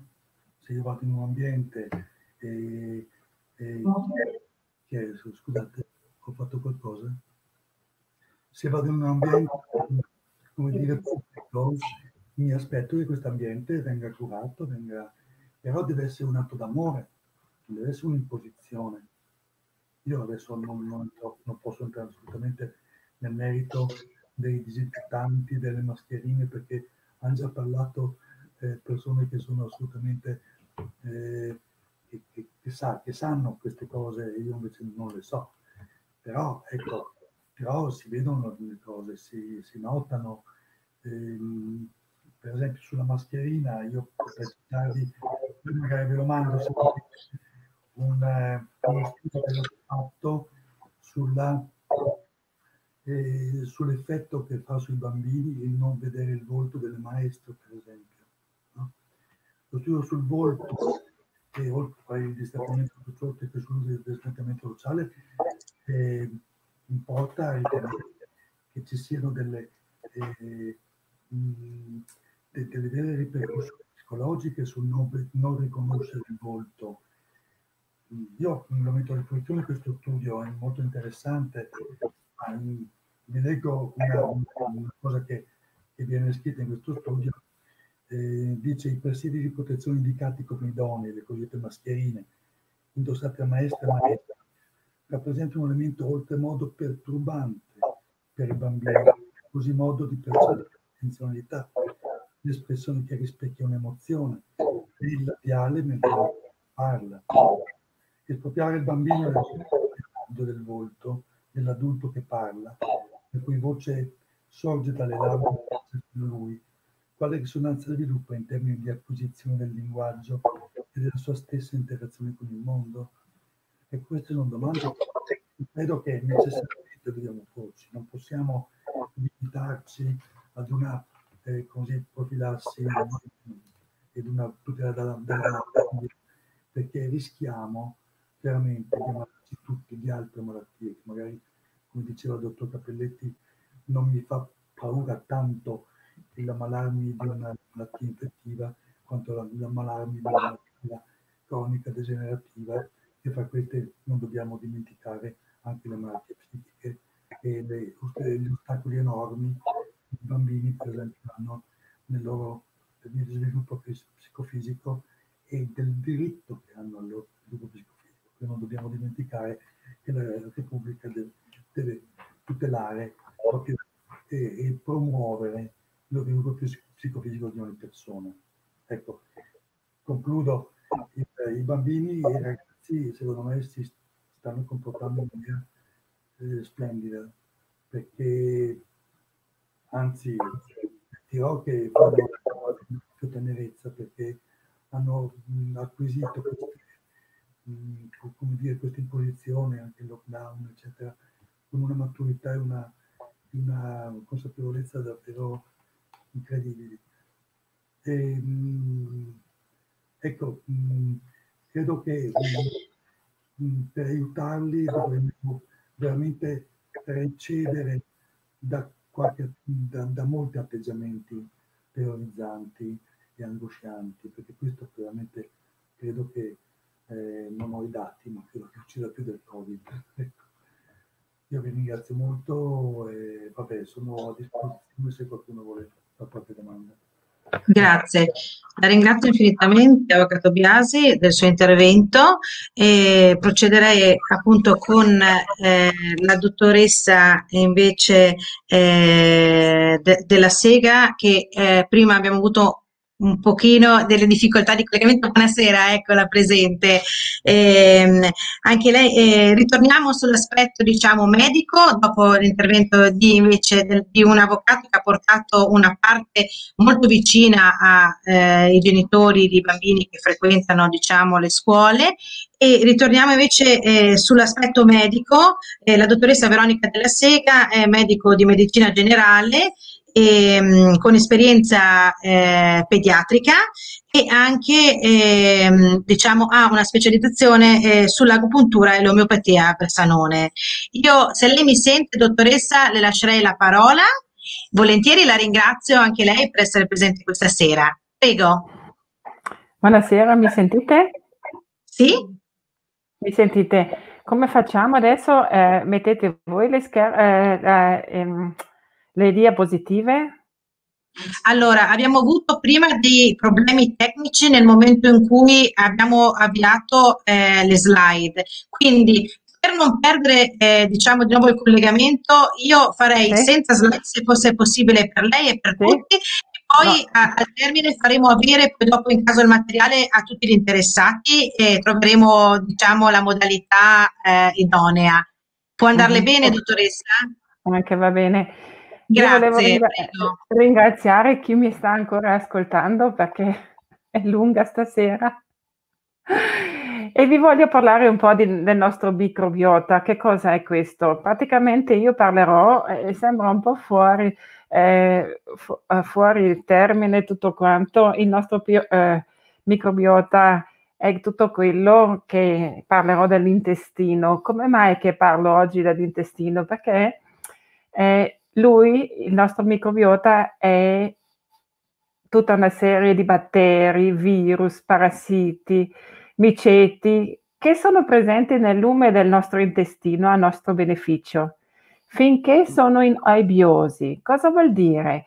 Finché c'è uno stato di equilibrio che si autoregola in merito a numero e anche come tipo di organismi. Allora, noi sappiamo che c'è un'infinità di microbi nel nostro intestino, ma quando avviene questo contatto, noi nasciamo sterili e però nel corso di un anno guadagniamo il nostro microbiota adulto.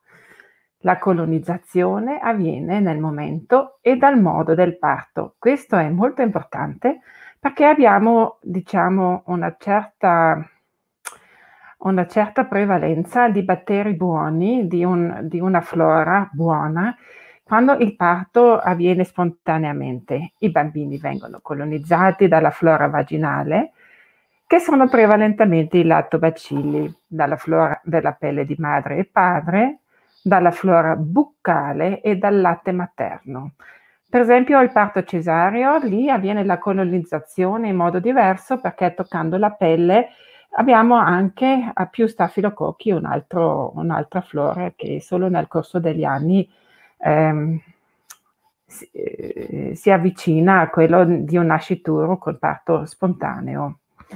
Allora, per i bambini i primi mille giorni sono fondamentali e dobbiamo proprio pensare a, a lasciarli crescere in un, in un, modo molto spontaneo, con, in un modo naturale e evitiamo ogni tipo di interferenza chimica.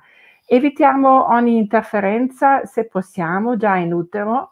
Dobbiamo anche pensare tutto quello che ci circonda, i pesticidi, eh, tutto l'ambiente, tutto questo si, si, ripercuote in un certo senso eh, sul nostro essere in toto, ma proprio anche sulla, sulla nostra flora. Allora, evitiamo, evitiamo se possiamo ogni cura antibiotica che riduce il nostro microbioma, riduce proprio anche la biodiversità. Guardiamo un po' di assumere cibi prevalentemente non trattati o biologici. Pensiamo anche che i pesticidi, quali il glifosato, sono anche in grado di comportarsi da interferenti endocrini. Mangiamo in modo equilibrato ed assumiamo cibi fermentati quali? Quali sono questi cibi? Lo yogurt, il kefir, i cauti, ogni giorno un pochettino. E rafforziamo un po' i, nos- i commensali utili della flora intestinale. Forniamo loro fibre e fibre solubili contenuti nella buccia delle mele, dello psilio, semi di lino, semi di chia, topinambur, cicoria, nera, che in tedesco si chiama Schwarzwurzel, non sono certa del, del, della traduzione giusta. Allora, come mai questo questo nostro microbiota è uno scudo protettivo. Il microbiota sano ci protegge praticamente in condizioni normali. Quando mettiamo che abbiamo una, un buon microbiota da bambino, non abbiamo tante interferenze e vediamo che i batteri proprio nel lume dell'intestino formano un biofilm.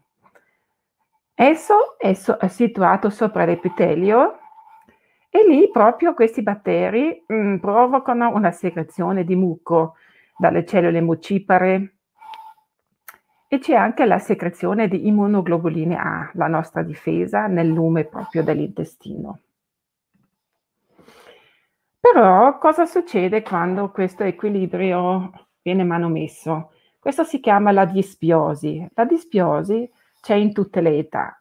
Lo possiamo vedere in sintomi A specifici, un malessere, una astenia, la cefalea, l'insonnia, oppure viceversa una sonnolenza diurna che non, che non sarebbe naturale, ma vediamo anche che la disbiosi causa una certa depressione, può causare ansia, tachicardia, panico, addirittura freddi, freddolosità.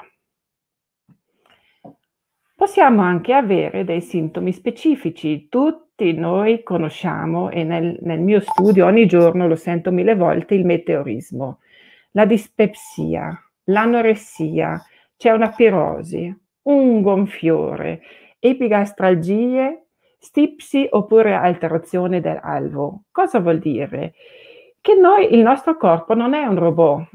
Quando noi veniamo sottoposti a stress o stimoli esterni, una, una parte delle persone reagisce proprio con l'intestino, mentre si cambia eh, l'equilibrio di tutti questi batteri che avevo appena menzionato.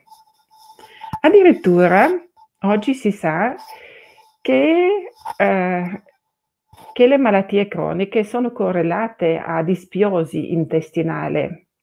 Qua bisogna dire un concetto che magari nella popolazione non è così conosciuta, che il meccanismo sottostante è una infiammazione cronica silente, una leggera infiammazione che va ad alterare segnali eh, neuro- neurologici, endoinco- en- endocrinologici, ormonali e via andando così.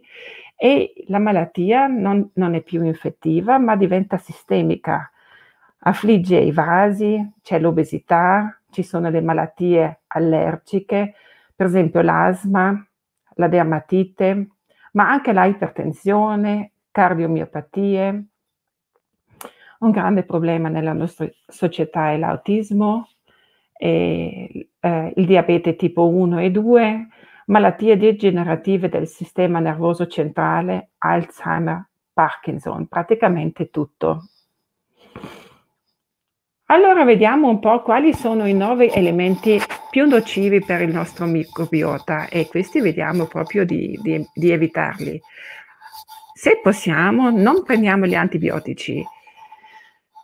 Lo sappiamo proprio quando prendiamo un antibiotico, tante persone ci dicono come, come, sintomo che gli avviene la diarrea, proprio segno della disbiosi formatasi in quel momento o dopo la cura. Ma non solo, la pillola anticoncezionale, essa è collegata strettamente con retocolite ulcerosa e anche morbo di Crohn. Cosa vuol dire? Che altera, uh, ehm, altera l'equilibrio proprio intestinale e porta anche a inf- infiammazione silente e questo può portare a malattie eh, infiammatorie del colon oppure di tutto il tratto gastrointestinale. Pensiamo un po' al cloro. Il cloro disinfetta, ma non solo l'acqua, ma riduce anche la diversità della flora, mentre noi beviamo un'acqua che ci sono anche pochissime, pochissime concentrazioni di cloro. Questo eh, cambia il nostro, il nostro, il nostro micro, microbiota molto. Il fluoro, anche lui può interferire con la flora intestinale mentre la riduce. L'alimentazione è un punto molto importante anche nei bambini. Se noi apportiamo troppi zuccheri semplici, praticamente li mangiamo in eccesso, anche questo altera la flora intestinale. L'acidosi, che proviene da troppe proteine animali, tutti gli additivi chimici, cibi pronti, cibi industrializzati, tutte le merendine preconfezionate. Non dimentichiamo i pesticidi, praticamente interferiscono in piccolissime quantità e sono in grado proprio di, di non solo di, di, interferire col lume, con, con, il nostro intestino, ma sul livello ormonale, sul livello della cute, sul livello, su tutti i livelli. Ultimo punto, non il più piccolo, lo stress. Lo stress sensibilmente altera la flora e viceversa l'apporto di bifidobatteri aumenta la nostra resilienza, cioè stiamo meglio se il nostro intestino sta bene. Sempre una buona idea, rafforziamo il nostro micro, microbiota. Come lo facciamo? Colonizziamo dall'alto, bonifichiamo la disbiosi, apportiamo i prebiotici. Cosa sono questi? Sono sostanze non digeribili, ma utilizzate dalla flora intestinale. Le pectine contenute nella mela, kombucha o nei semi di lino. Vi, vi ricordo vecchia, il vecchio detto, una mela al giorno toglie il medico di torno, anche meglio se è grattugiata, perché quando è grattugiata le cellule eh, vengono, vengono schiacciate e la pectina fuoriesce ed è in grado di nutrire proprio i nostri germi protettivi. Non dimentichiamo nella nostra alimentazione eh, l'apporto di sostanze amare che fanno proprio, fanno un, dovrebbero fare parte ogni giorno anche, per esempio la cicoria, il radicchio, i carciofi, che sono in grado di favorire la corretta funzione epatica. Quando c'è il mal di pancino o il mal di pancia, ci sono i carminativi, sono vecchie ricette, ognuno le conosce, si fanno degli infusi leggeri di menta con anice, cumino, finocchio, anice stellato. Cosa fanno questi carminativi? Riducono questo sintomo un po' sgradevole, il meteorismo di stomaco e intestino e sono capaci a stimolare la secrezione salivare e gastrica. I probiotici, lattobacilli, bifidobatteri, eccetera, ognuno li conosce, il farmacista li vende a go-go. Quando è utile somministrarli? Allora dobbiamo pensare che se lo stress altera la nostra flora e se viceversa aiutiamo la flora, preveniamo anche le infezioni e riduciamo infezioni in atto. I probiotici sono proprio questi bifidobatteri, latobacilli, che si possono dare anche come prevenzione. Quando pe- pensiamo a un bambino piccolo, che pro- probabilmente è tutto a posto, la sua flora, pensiamo anche alla vivacità e alla sua salute. Invece, nelle fasi avanzate della vita, la biodiversità del nostro biota, microbiota è già ridotta e, e di molto. Allora nell'anziano migliora le difese, ma anche l'umore. Nel bambino riduce l'incidenza di asma e allergie e si, ci si può ricordare in ogni malattia cronica di sostenere l'intestino con l'apporto ecco, di, di latobacilli, bifidobatteri e quant'altro. Ci porta ad essere sani in una vita lunga. Va bene, per oggi avrei finito. Volevo fare anche qualcosa di breve.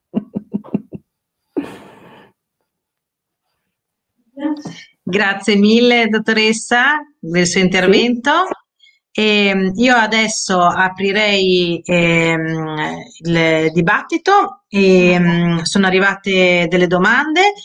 E io vorrei ricordare a tutti che eh, se non riusciamo eh, a, a, dare restituzione di tutte le domande che sono arrivate adesso, cercheremo un sistema eh, proprio per eh, dare una risposta a tutti quanti. E di conseguenza io ho eh, delle, alcune domande che sono arrivate e magari procederei ehm, a presentarvele. E, eh, un'infermiera eh, eh, in questo momento ha inviato una domanda e chiede, e qui se volete potete poi vedere eh, tra tutti i partecipanti è una, diciamo, un dibattito per cui possiamo intervenire tutti, eh, perché si definiscono gli asintomatici dei malati.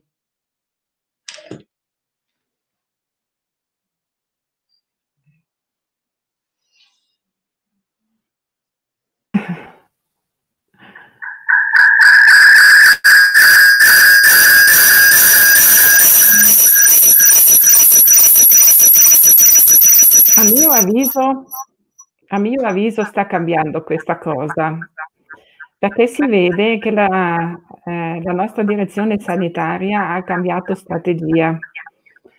Praticamente, da quanto ho capito, non verranno più testati tutti quelli soggetti sani che avevano contatto con un Covid positivo.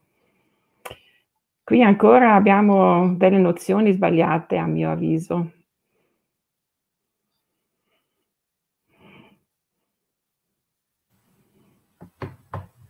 Eh, sì, non si possa dire anche qualcosa. Eh, la, la, questione degli asintomatici è una cosa molto dibattuta.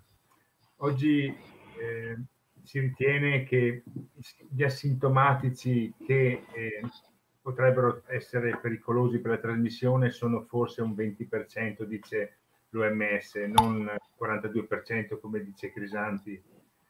Mm, però effettivamente la prospettiva di chiamarli asintomatici, di non chiamarli per esempio portatori sani, di non chiamarli eh, persone sane, dice eventualmente, ma questo è stato nel, eh, diciamo nella stra, tra, tra strategia di questa, di questa malattia e questo incrementa un po' l'ansia, incrementa un po' l'incertezza.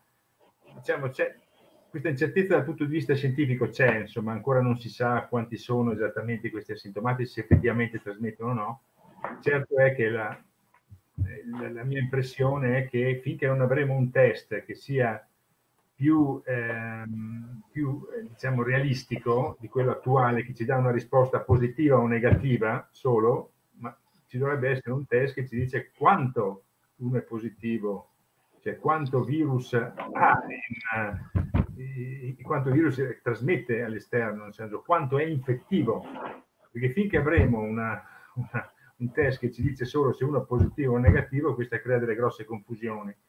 E purtroppo eh, i test eh, che danno la risposta, per esempio sulla carica virale, sono test che vengono usati solo per la ricerca e non sono in commercio e questo dato insomma, della carica virale o del, della soglia di ciclo, cioè di quanti cicli ci vogliono per arrivare alla positività, più sono i cicli e meno uno è infettivo, perché se uno arriva alla positività con pochi cicli vuol dire che la quantità di virus iniziale era molto alta.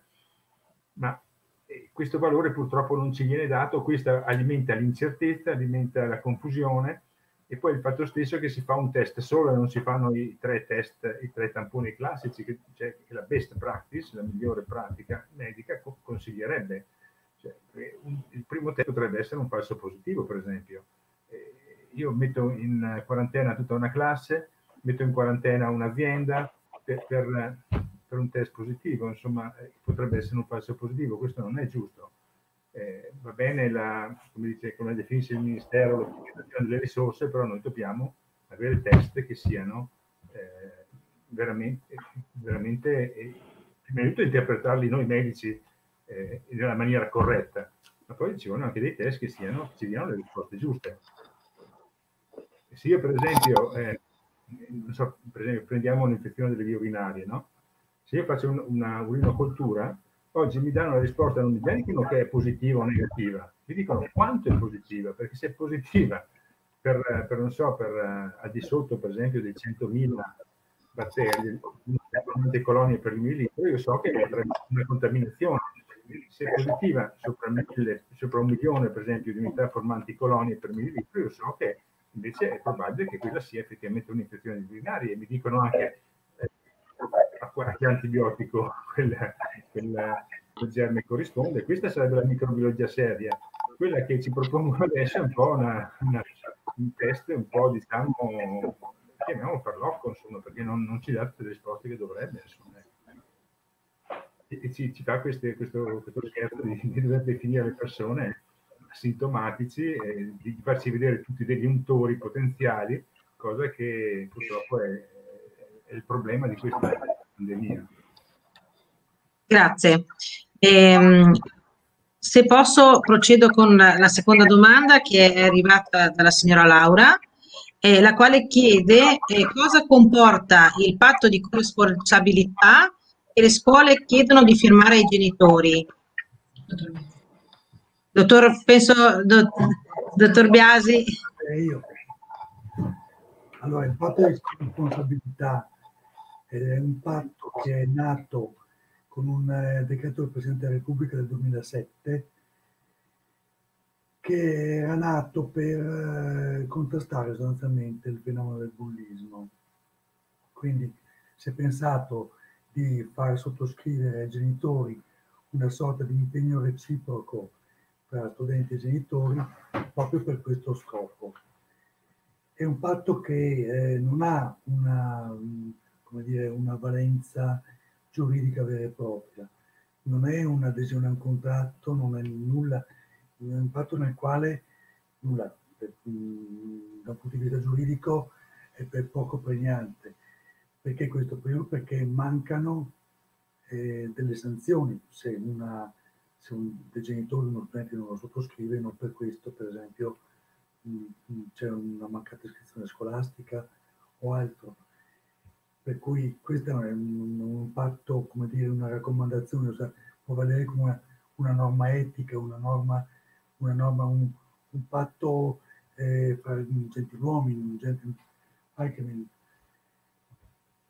non, ha questa, non avendo questa valenza giuridica in termini di sanzioni, io credo che una, se qualcuno mh, non vuole firmarlo, non credo che ci siano, ci siano nessune non ci siano conseguenze. Ecco, poi questi patti sono stati allargati anche ovviamente all'emergenza Covid e quindi prevedono tutta una serie di eh, adempimenti o di facoltà che la scuola si riserva di porre in essere eh, proprio in, in, virtù di questa, di questa emergenza. Mm, eh, io ritengo che sia legittimo nell'ambito di un patto dire, formativo o educativo, credo che siano legittime anche queste perché insomma viviamo in un mondo che eh, come dire, eh, nel quale ci siamo tutti, per cui non mi sembra di dover sollevare chissà quali obiezioni al fatto che la scuola si riservi di eh, adottare anche unilateralmente le misure, le misure di tipo sanitario. E credo che invece su queste misure una, una buona prassi, per, esempio io l'ho fatto, eh, sia qui con mio figlio, c'è un figlio di 12 anni che che frequenta la seconda media, potrebbe essere quello di eh, scrivere una nota, mettere una nota aggiuntiva alla scuola dicendo quali, quali parti del patto io non intendo sottoscrivere o comunque mi riservo verificare in seguito, perché se la scuola si dovesse prendere delle, eh, come dire, ehm, dovesse prendere da adottare delle misure che per esempio io non, non condivido perché magari non, non vengono, vengono, coinvolti i minori in modo, i, i figli in modo improprio, io credo che posso anche dissentire da questo e, e chiedere, chiedere contezza alla scuola.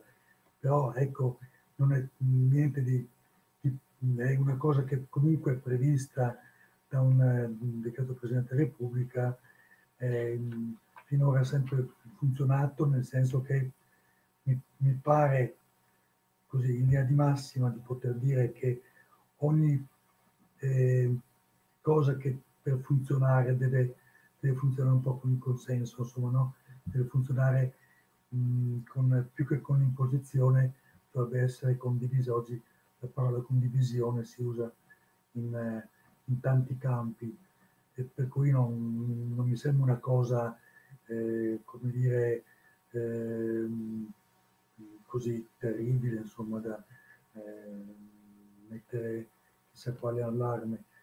Ecco, ripeto, mh, si può, secondo me, risentire legittimamente su alcuni punti, basta rendere tutta la scuola e dire, su, su questo, per esempio, non ci sto, oppure magari avvisatemi prima, eccetera. Ecco, in là così non andrei.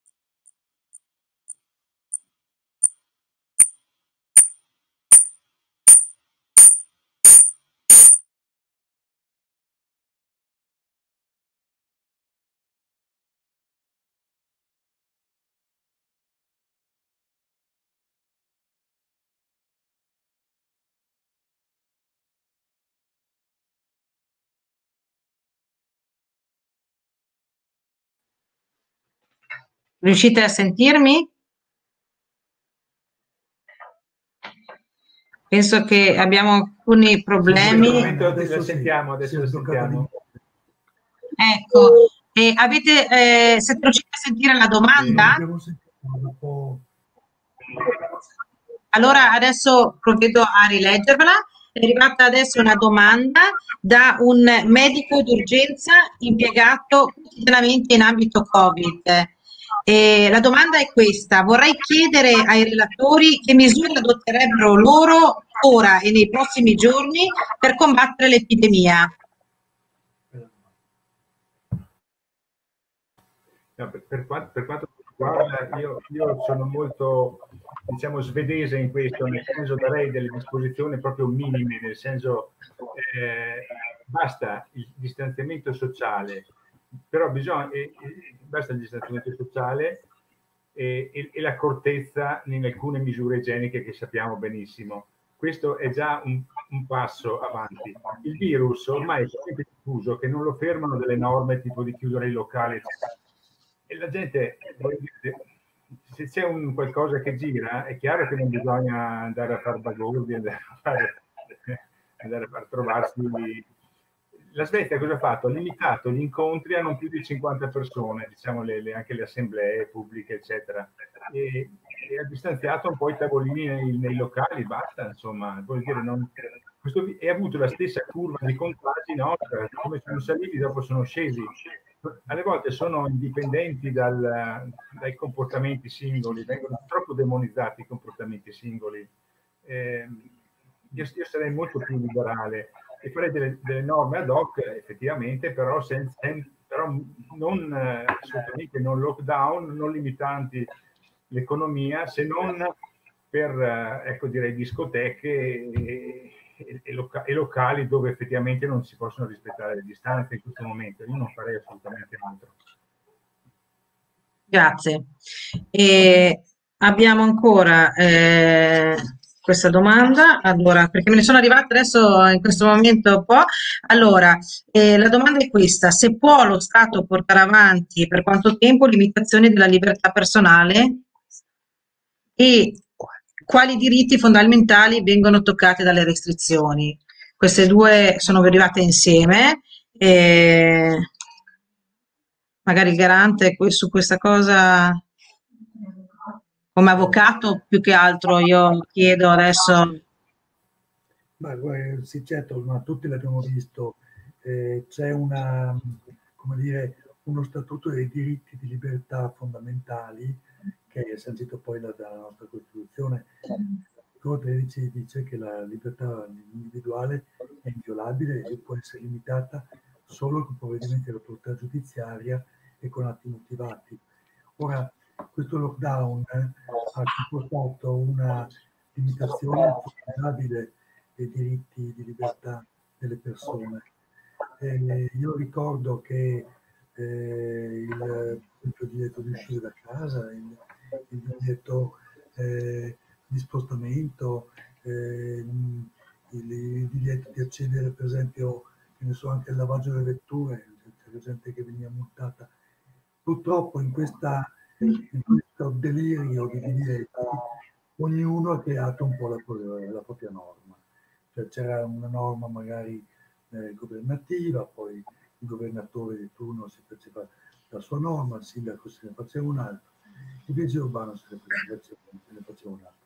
Quindi erano tutte norme che, de, che, derivavano da un potere, come dire, eh, diciamo, basato sulla legislazione d'urgenza, eh, con decreto legge, a cui era stato affidato eh, attribuito al Presidente del Consiglio dei Ministri la possibilità di introdurre con il decreto del Presidente del Consiglio, nemmeno un decreto collegiale del governo, ma un decreto suo personale, come, come figura istituzionale, eh, introdurre no, nuove norme, quelle che apparivano al momento le più, le più adeguate, e per evitare anche eh, che, che una, un ritardo nell'emanazione di queste norme sia data la possibilità di emanare.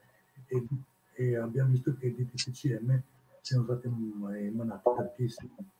Ora, questo, quelle limitazioni alla libertà in realtà in Costituzione possono essere disposte soltanto per la dichiarazione dello stato di guerra, ma non per, per, altre, per altre, cause. Eh, ci sono delle norme eh, ci sono delle norme che tutelano la salute che attribuiscono al Consiglio, al, um, al, all'autorità sanitaria la possibilità di emanare restrizioni particolari.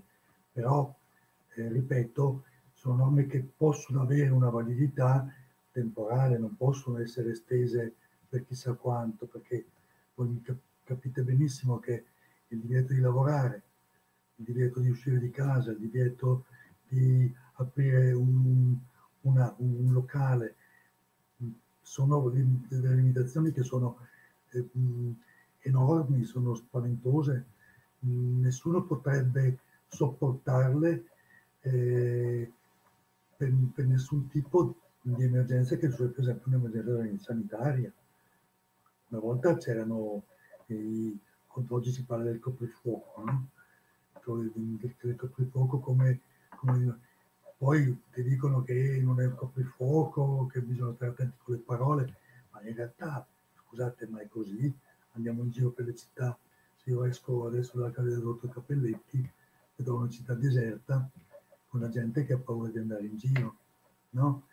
E, ehm, ecco, queste, queste, limitazioni di libertà, io so che ci sono state delle, anche delle denunce da parte di avvocati, di comitati, eh, non so quanto, quanto scopo comunque che, che tipo di eh, esito possono avere queste denunce, non so quanto, quanto siano penalmente rilevanti queste, queste, diciamo così, questi provvedimenti.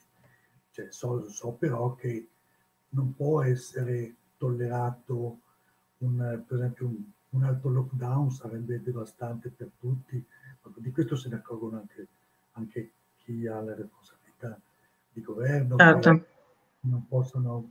Eh. Sì. Posso intervenire a integrazione di quello che della domanda di prima del collega che, che quale va la nostra specialità no? per il lavoro che, che deve fare. Ma, eh, il, problema, il problema è questo.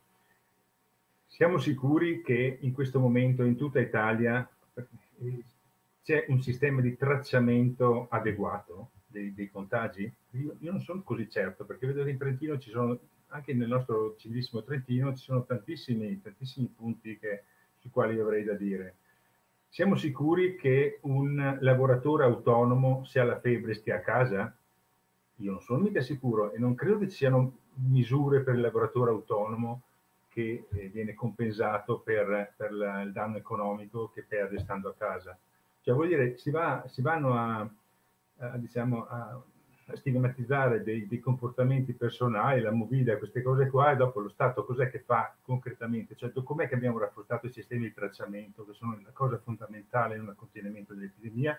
Non credo che siamo arrivati, perché l'unica cosa che serve a questo è il tracciamento e, e identificare i veri malati, non si possono stare dietro agli asintomatici, bisogna identificare e stare dietro ai veri malati quando c'è un'epidemia di questo tipo, quando adesso non so, la curva io spero che si fermi così e scenda, però bisogna stare dietro ai veri malati, e quelli che sono eh, i veri untori sono i malati, eh, non, sono gli, non, sono tanto gli asintomatici, gli asintomatici sono stati in tutte le malattie probabilmente, durante il periodo influenzale, noi tutti noi produciamo una certa quantità di virus influenzali, anche se non, non siamo malati, in quantità non infettanti, perché adesso non conosciamo esattamente qual è la dose infettante del virus, la carica virale infettante, però del virus del SARS-CoV-2, però voglio dire, noi sappiamo che in tutte le epidemie di, di, di influenza noi produciamo una piccola quantità di virus, e, e chi più chi meno, anzi quelli vaccinati pare che ne producono di più degli altri.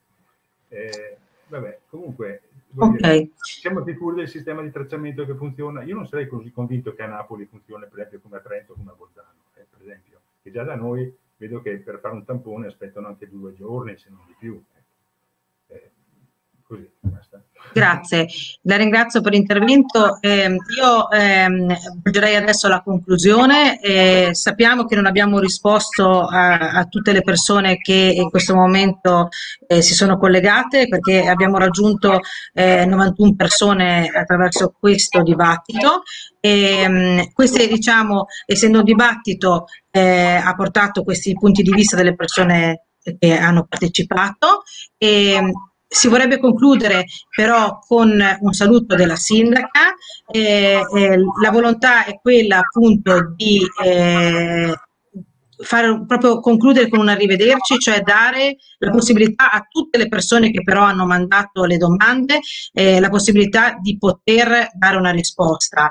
E magari potremo non so se lei è d'accordo sindaca, vedere di trovare magari una metodologia di raccolta oppure eh, dare la possibilità proprio a tutti i punti di vista e le domande che sono pervenute sono, erano di, di, diverso tipo dalla scuola, diciamo, eh, però la cosa che appunto vorremmo eh, dare eh, spazio a questo dibattito che in questo momento magari non è possibile farlo, magari anche più avanti. E questa magari sarebbe la volontà delle persone che eh, hanno organizzato questo tipo di incontro e che avrebbero piacere magari di farlo possibilmente in presenza se tutto questo potrà ehm, diciamo superarsi in poche settimane. E, però avrei piacere eh, di mh, mm, non concludere io questa serata, ma eh, passare la parola alla sindaca Giorgia Mongillo eh, e magari chiedere anche a lei eh, un, eh, un feedback di quello che appunto è stato detto questa sera. Mi sente? Sì, mi sento. Grazie. Allora, eh, beh, sicuramente eh, la modalità eh, online eh, è sempre un po', un po', difficile, non sempre permette alle persone poi di eh, dibattere veramente sull'argomento. pertanto, appena avremo la possibilità ancora di ritrovarci, sicuramente ci sarà ancora la possibilità eh, anche da parte del comune comunque di sostenere questo tipo di iniziative che devono comunque sempre portare al confronto e anche poi alla, così, a trovare delle proposte anche concrete per risolvere eh, i problemi che si, sono, che si verificano. Questo mi piacerebbe perché effettivamente questa sera ancora magari manca questo spunto di riflessione. Abbiamo sentito cose che non vanno bene, ma abbiamo anche la, dall'altra parte delle leggi a cui attenerci. Io parlo adesso anche come, come sindaca che ha anche il dovere di eh, così recepire quelli che sono eh, poi tutti i, i, decreti e tutte queste le ordinanze e poi di attuarle anche sul proprio territorio. Eh, però eh, al di là di questo dobbiamo anche, è vero, avete anche ragione, a trovare forse degli altri spunti concreti per aiutare anche le persone che si trovano in questa situazione come i bambini, come i giovani, eh, come le persone anziane o le persone isolate e su questo mi piacerebbe forse che in futuro si potesse invece ehm, insieme trovare anche dei momenti di incontro per trovare delle soluzioni. Quindi questo è il mio eh, augurio, insomma, eh, per tutti, veramente di, eh, di, di, andare anche oltre, di riuscire veramente uh, ad aiutare tutta la comunità con delle proposte concrete. Quindi vi ringrazio intanto della, di questa serata e a tutti buon proseguimento. Benissimo, io vorrei ringraziare ogni singolo partecipante di questa serata e ringrazio il dottor Cappelletti, l'avvocato Biasi, la dottoressa Del Lago, la dottoressa della Sega e la sindaca Mongillo. Vi ringrazio per la partecipazione anche a tutte le persone che si sono collegate. E, e come abbiamo detto eh, ci salutiamo con un arrivederci e, e vi auguro a tutti una buona serata. Grazie.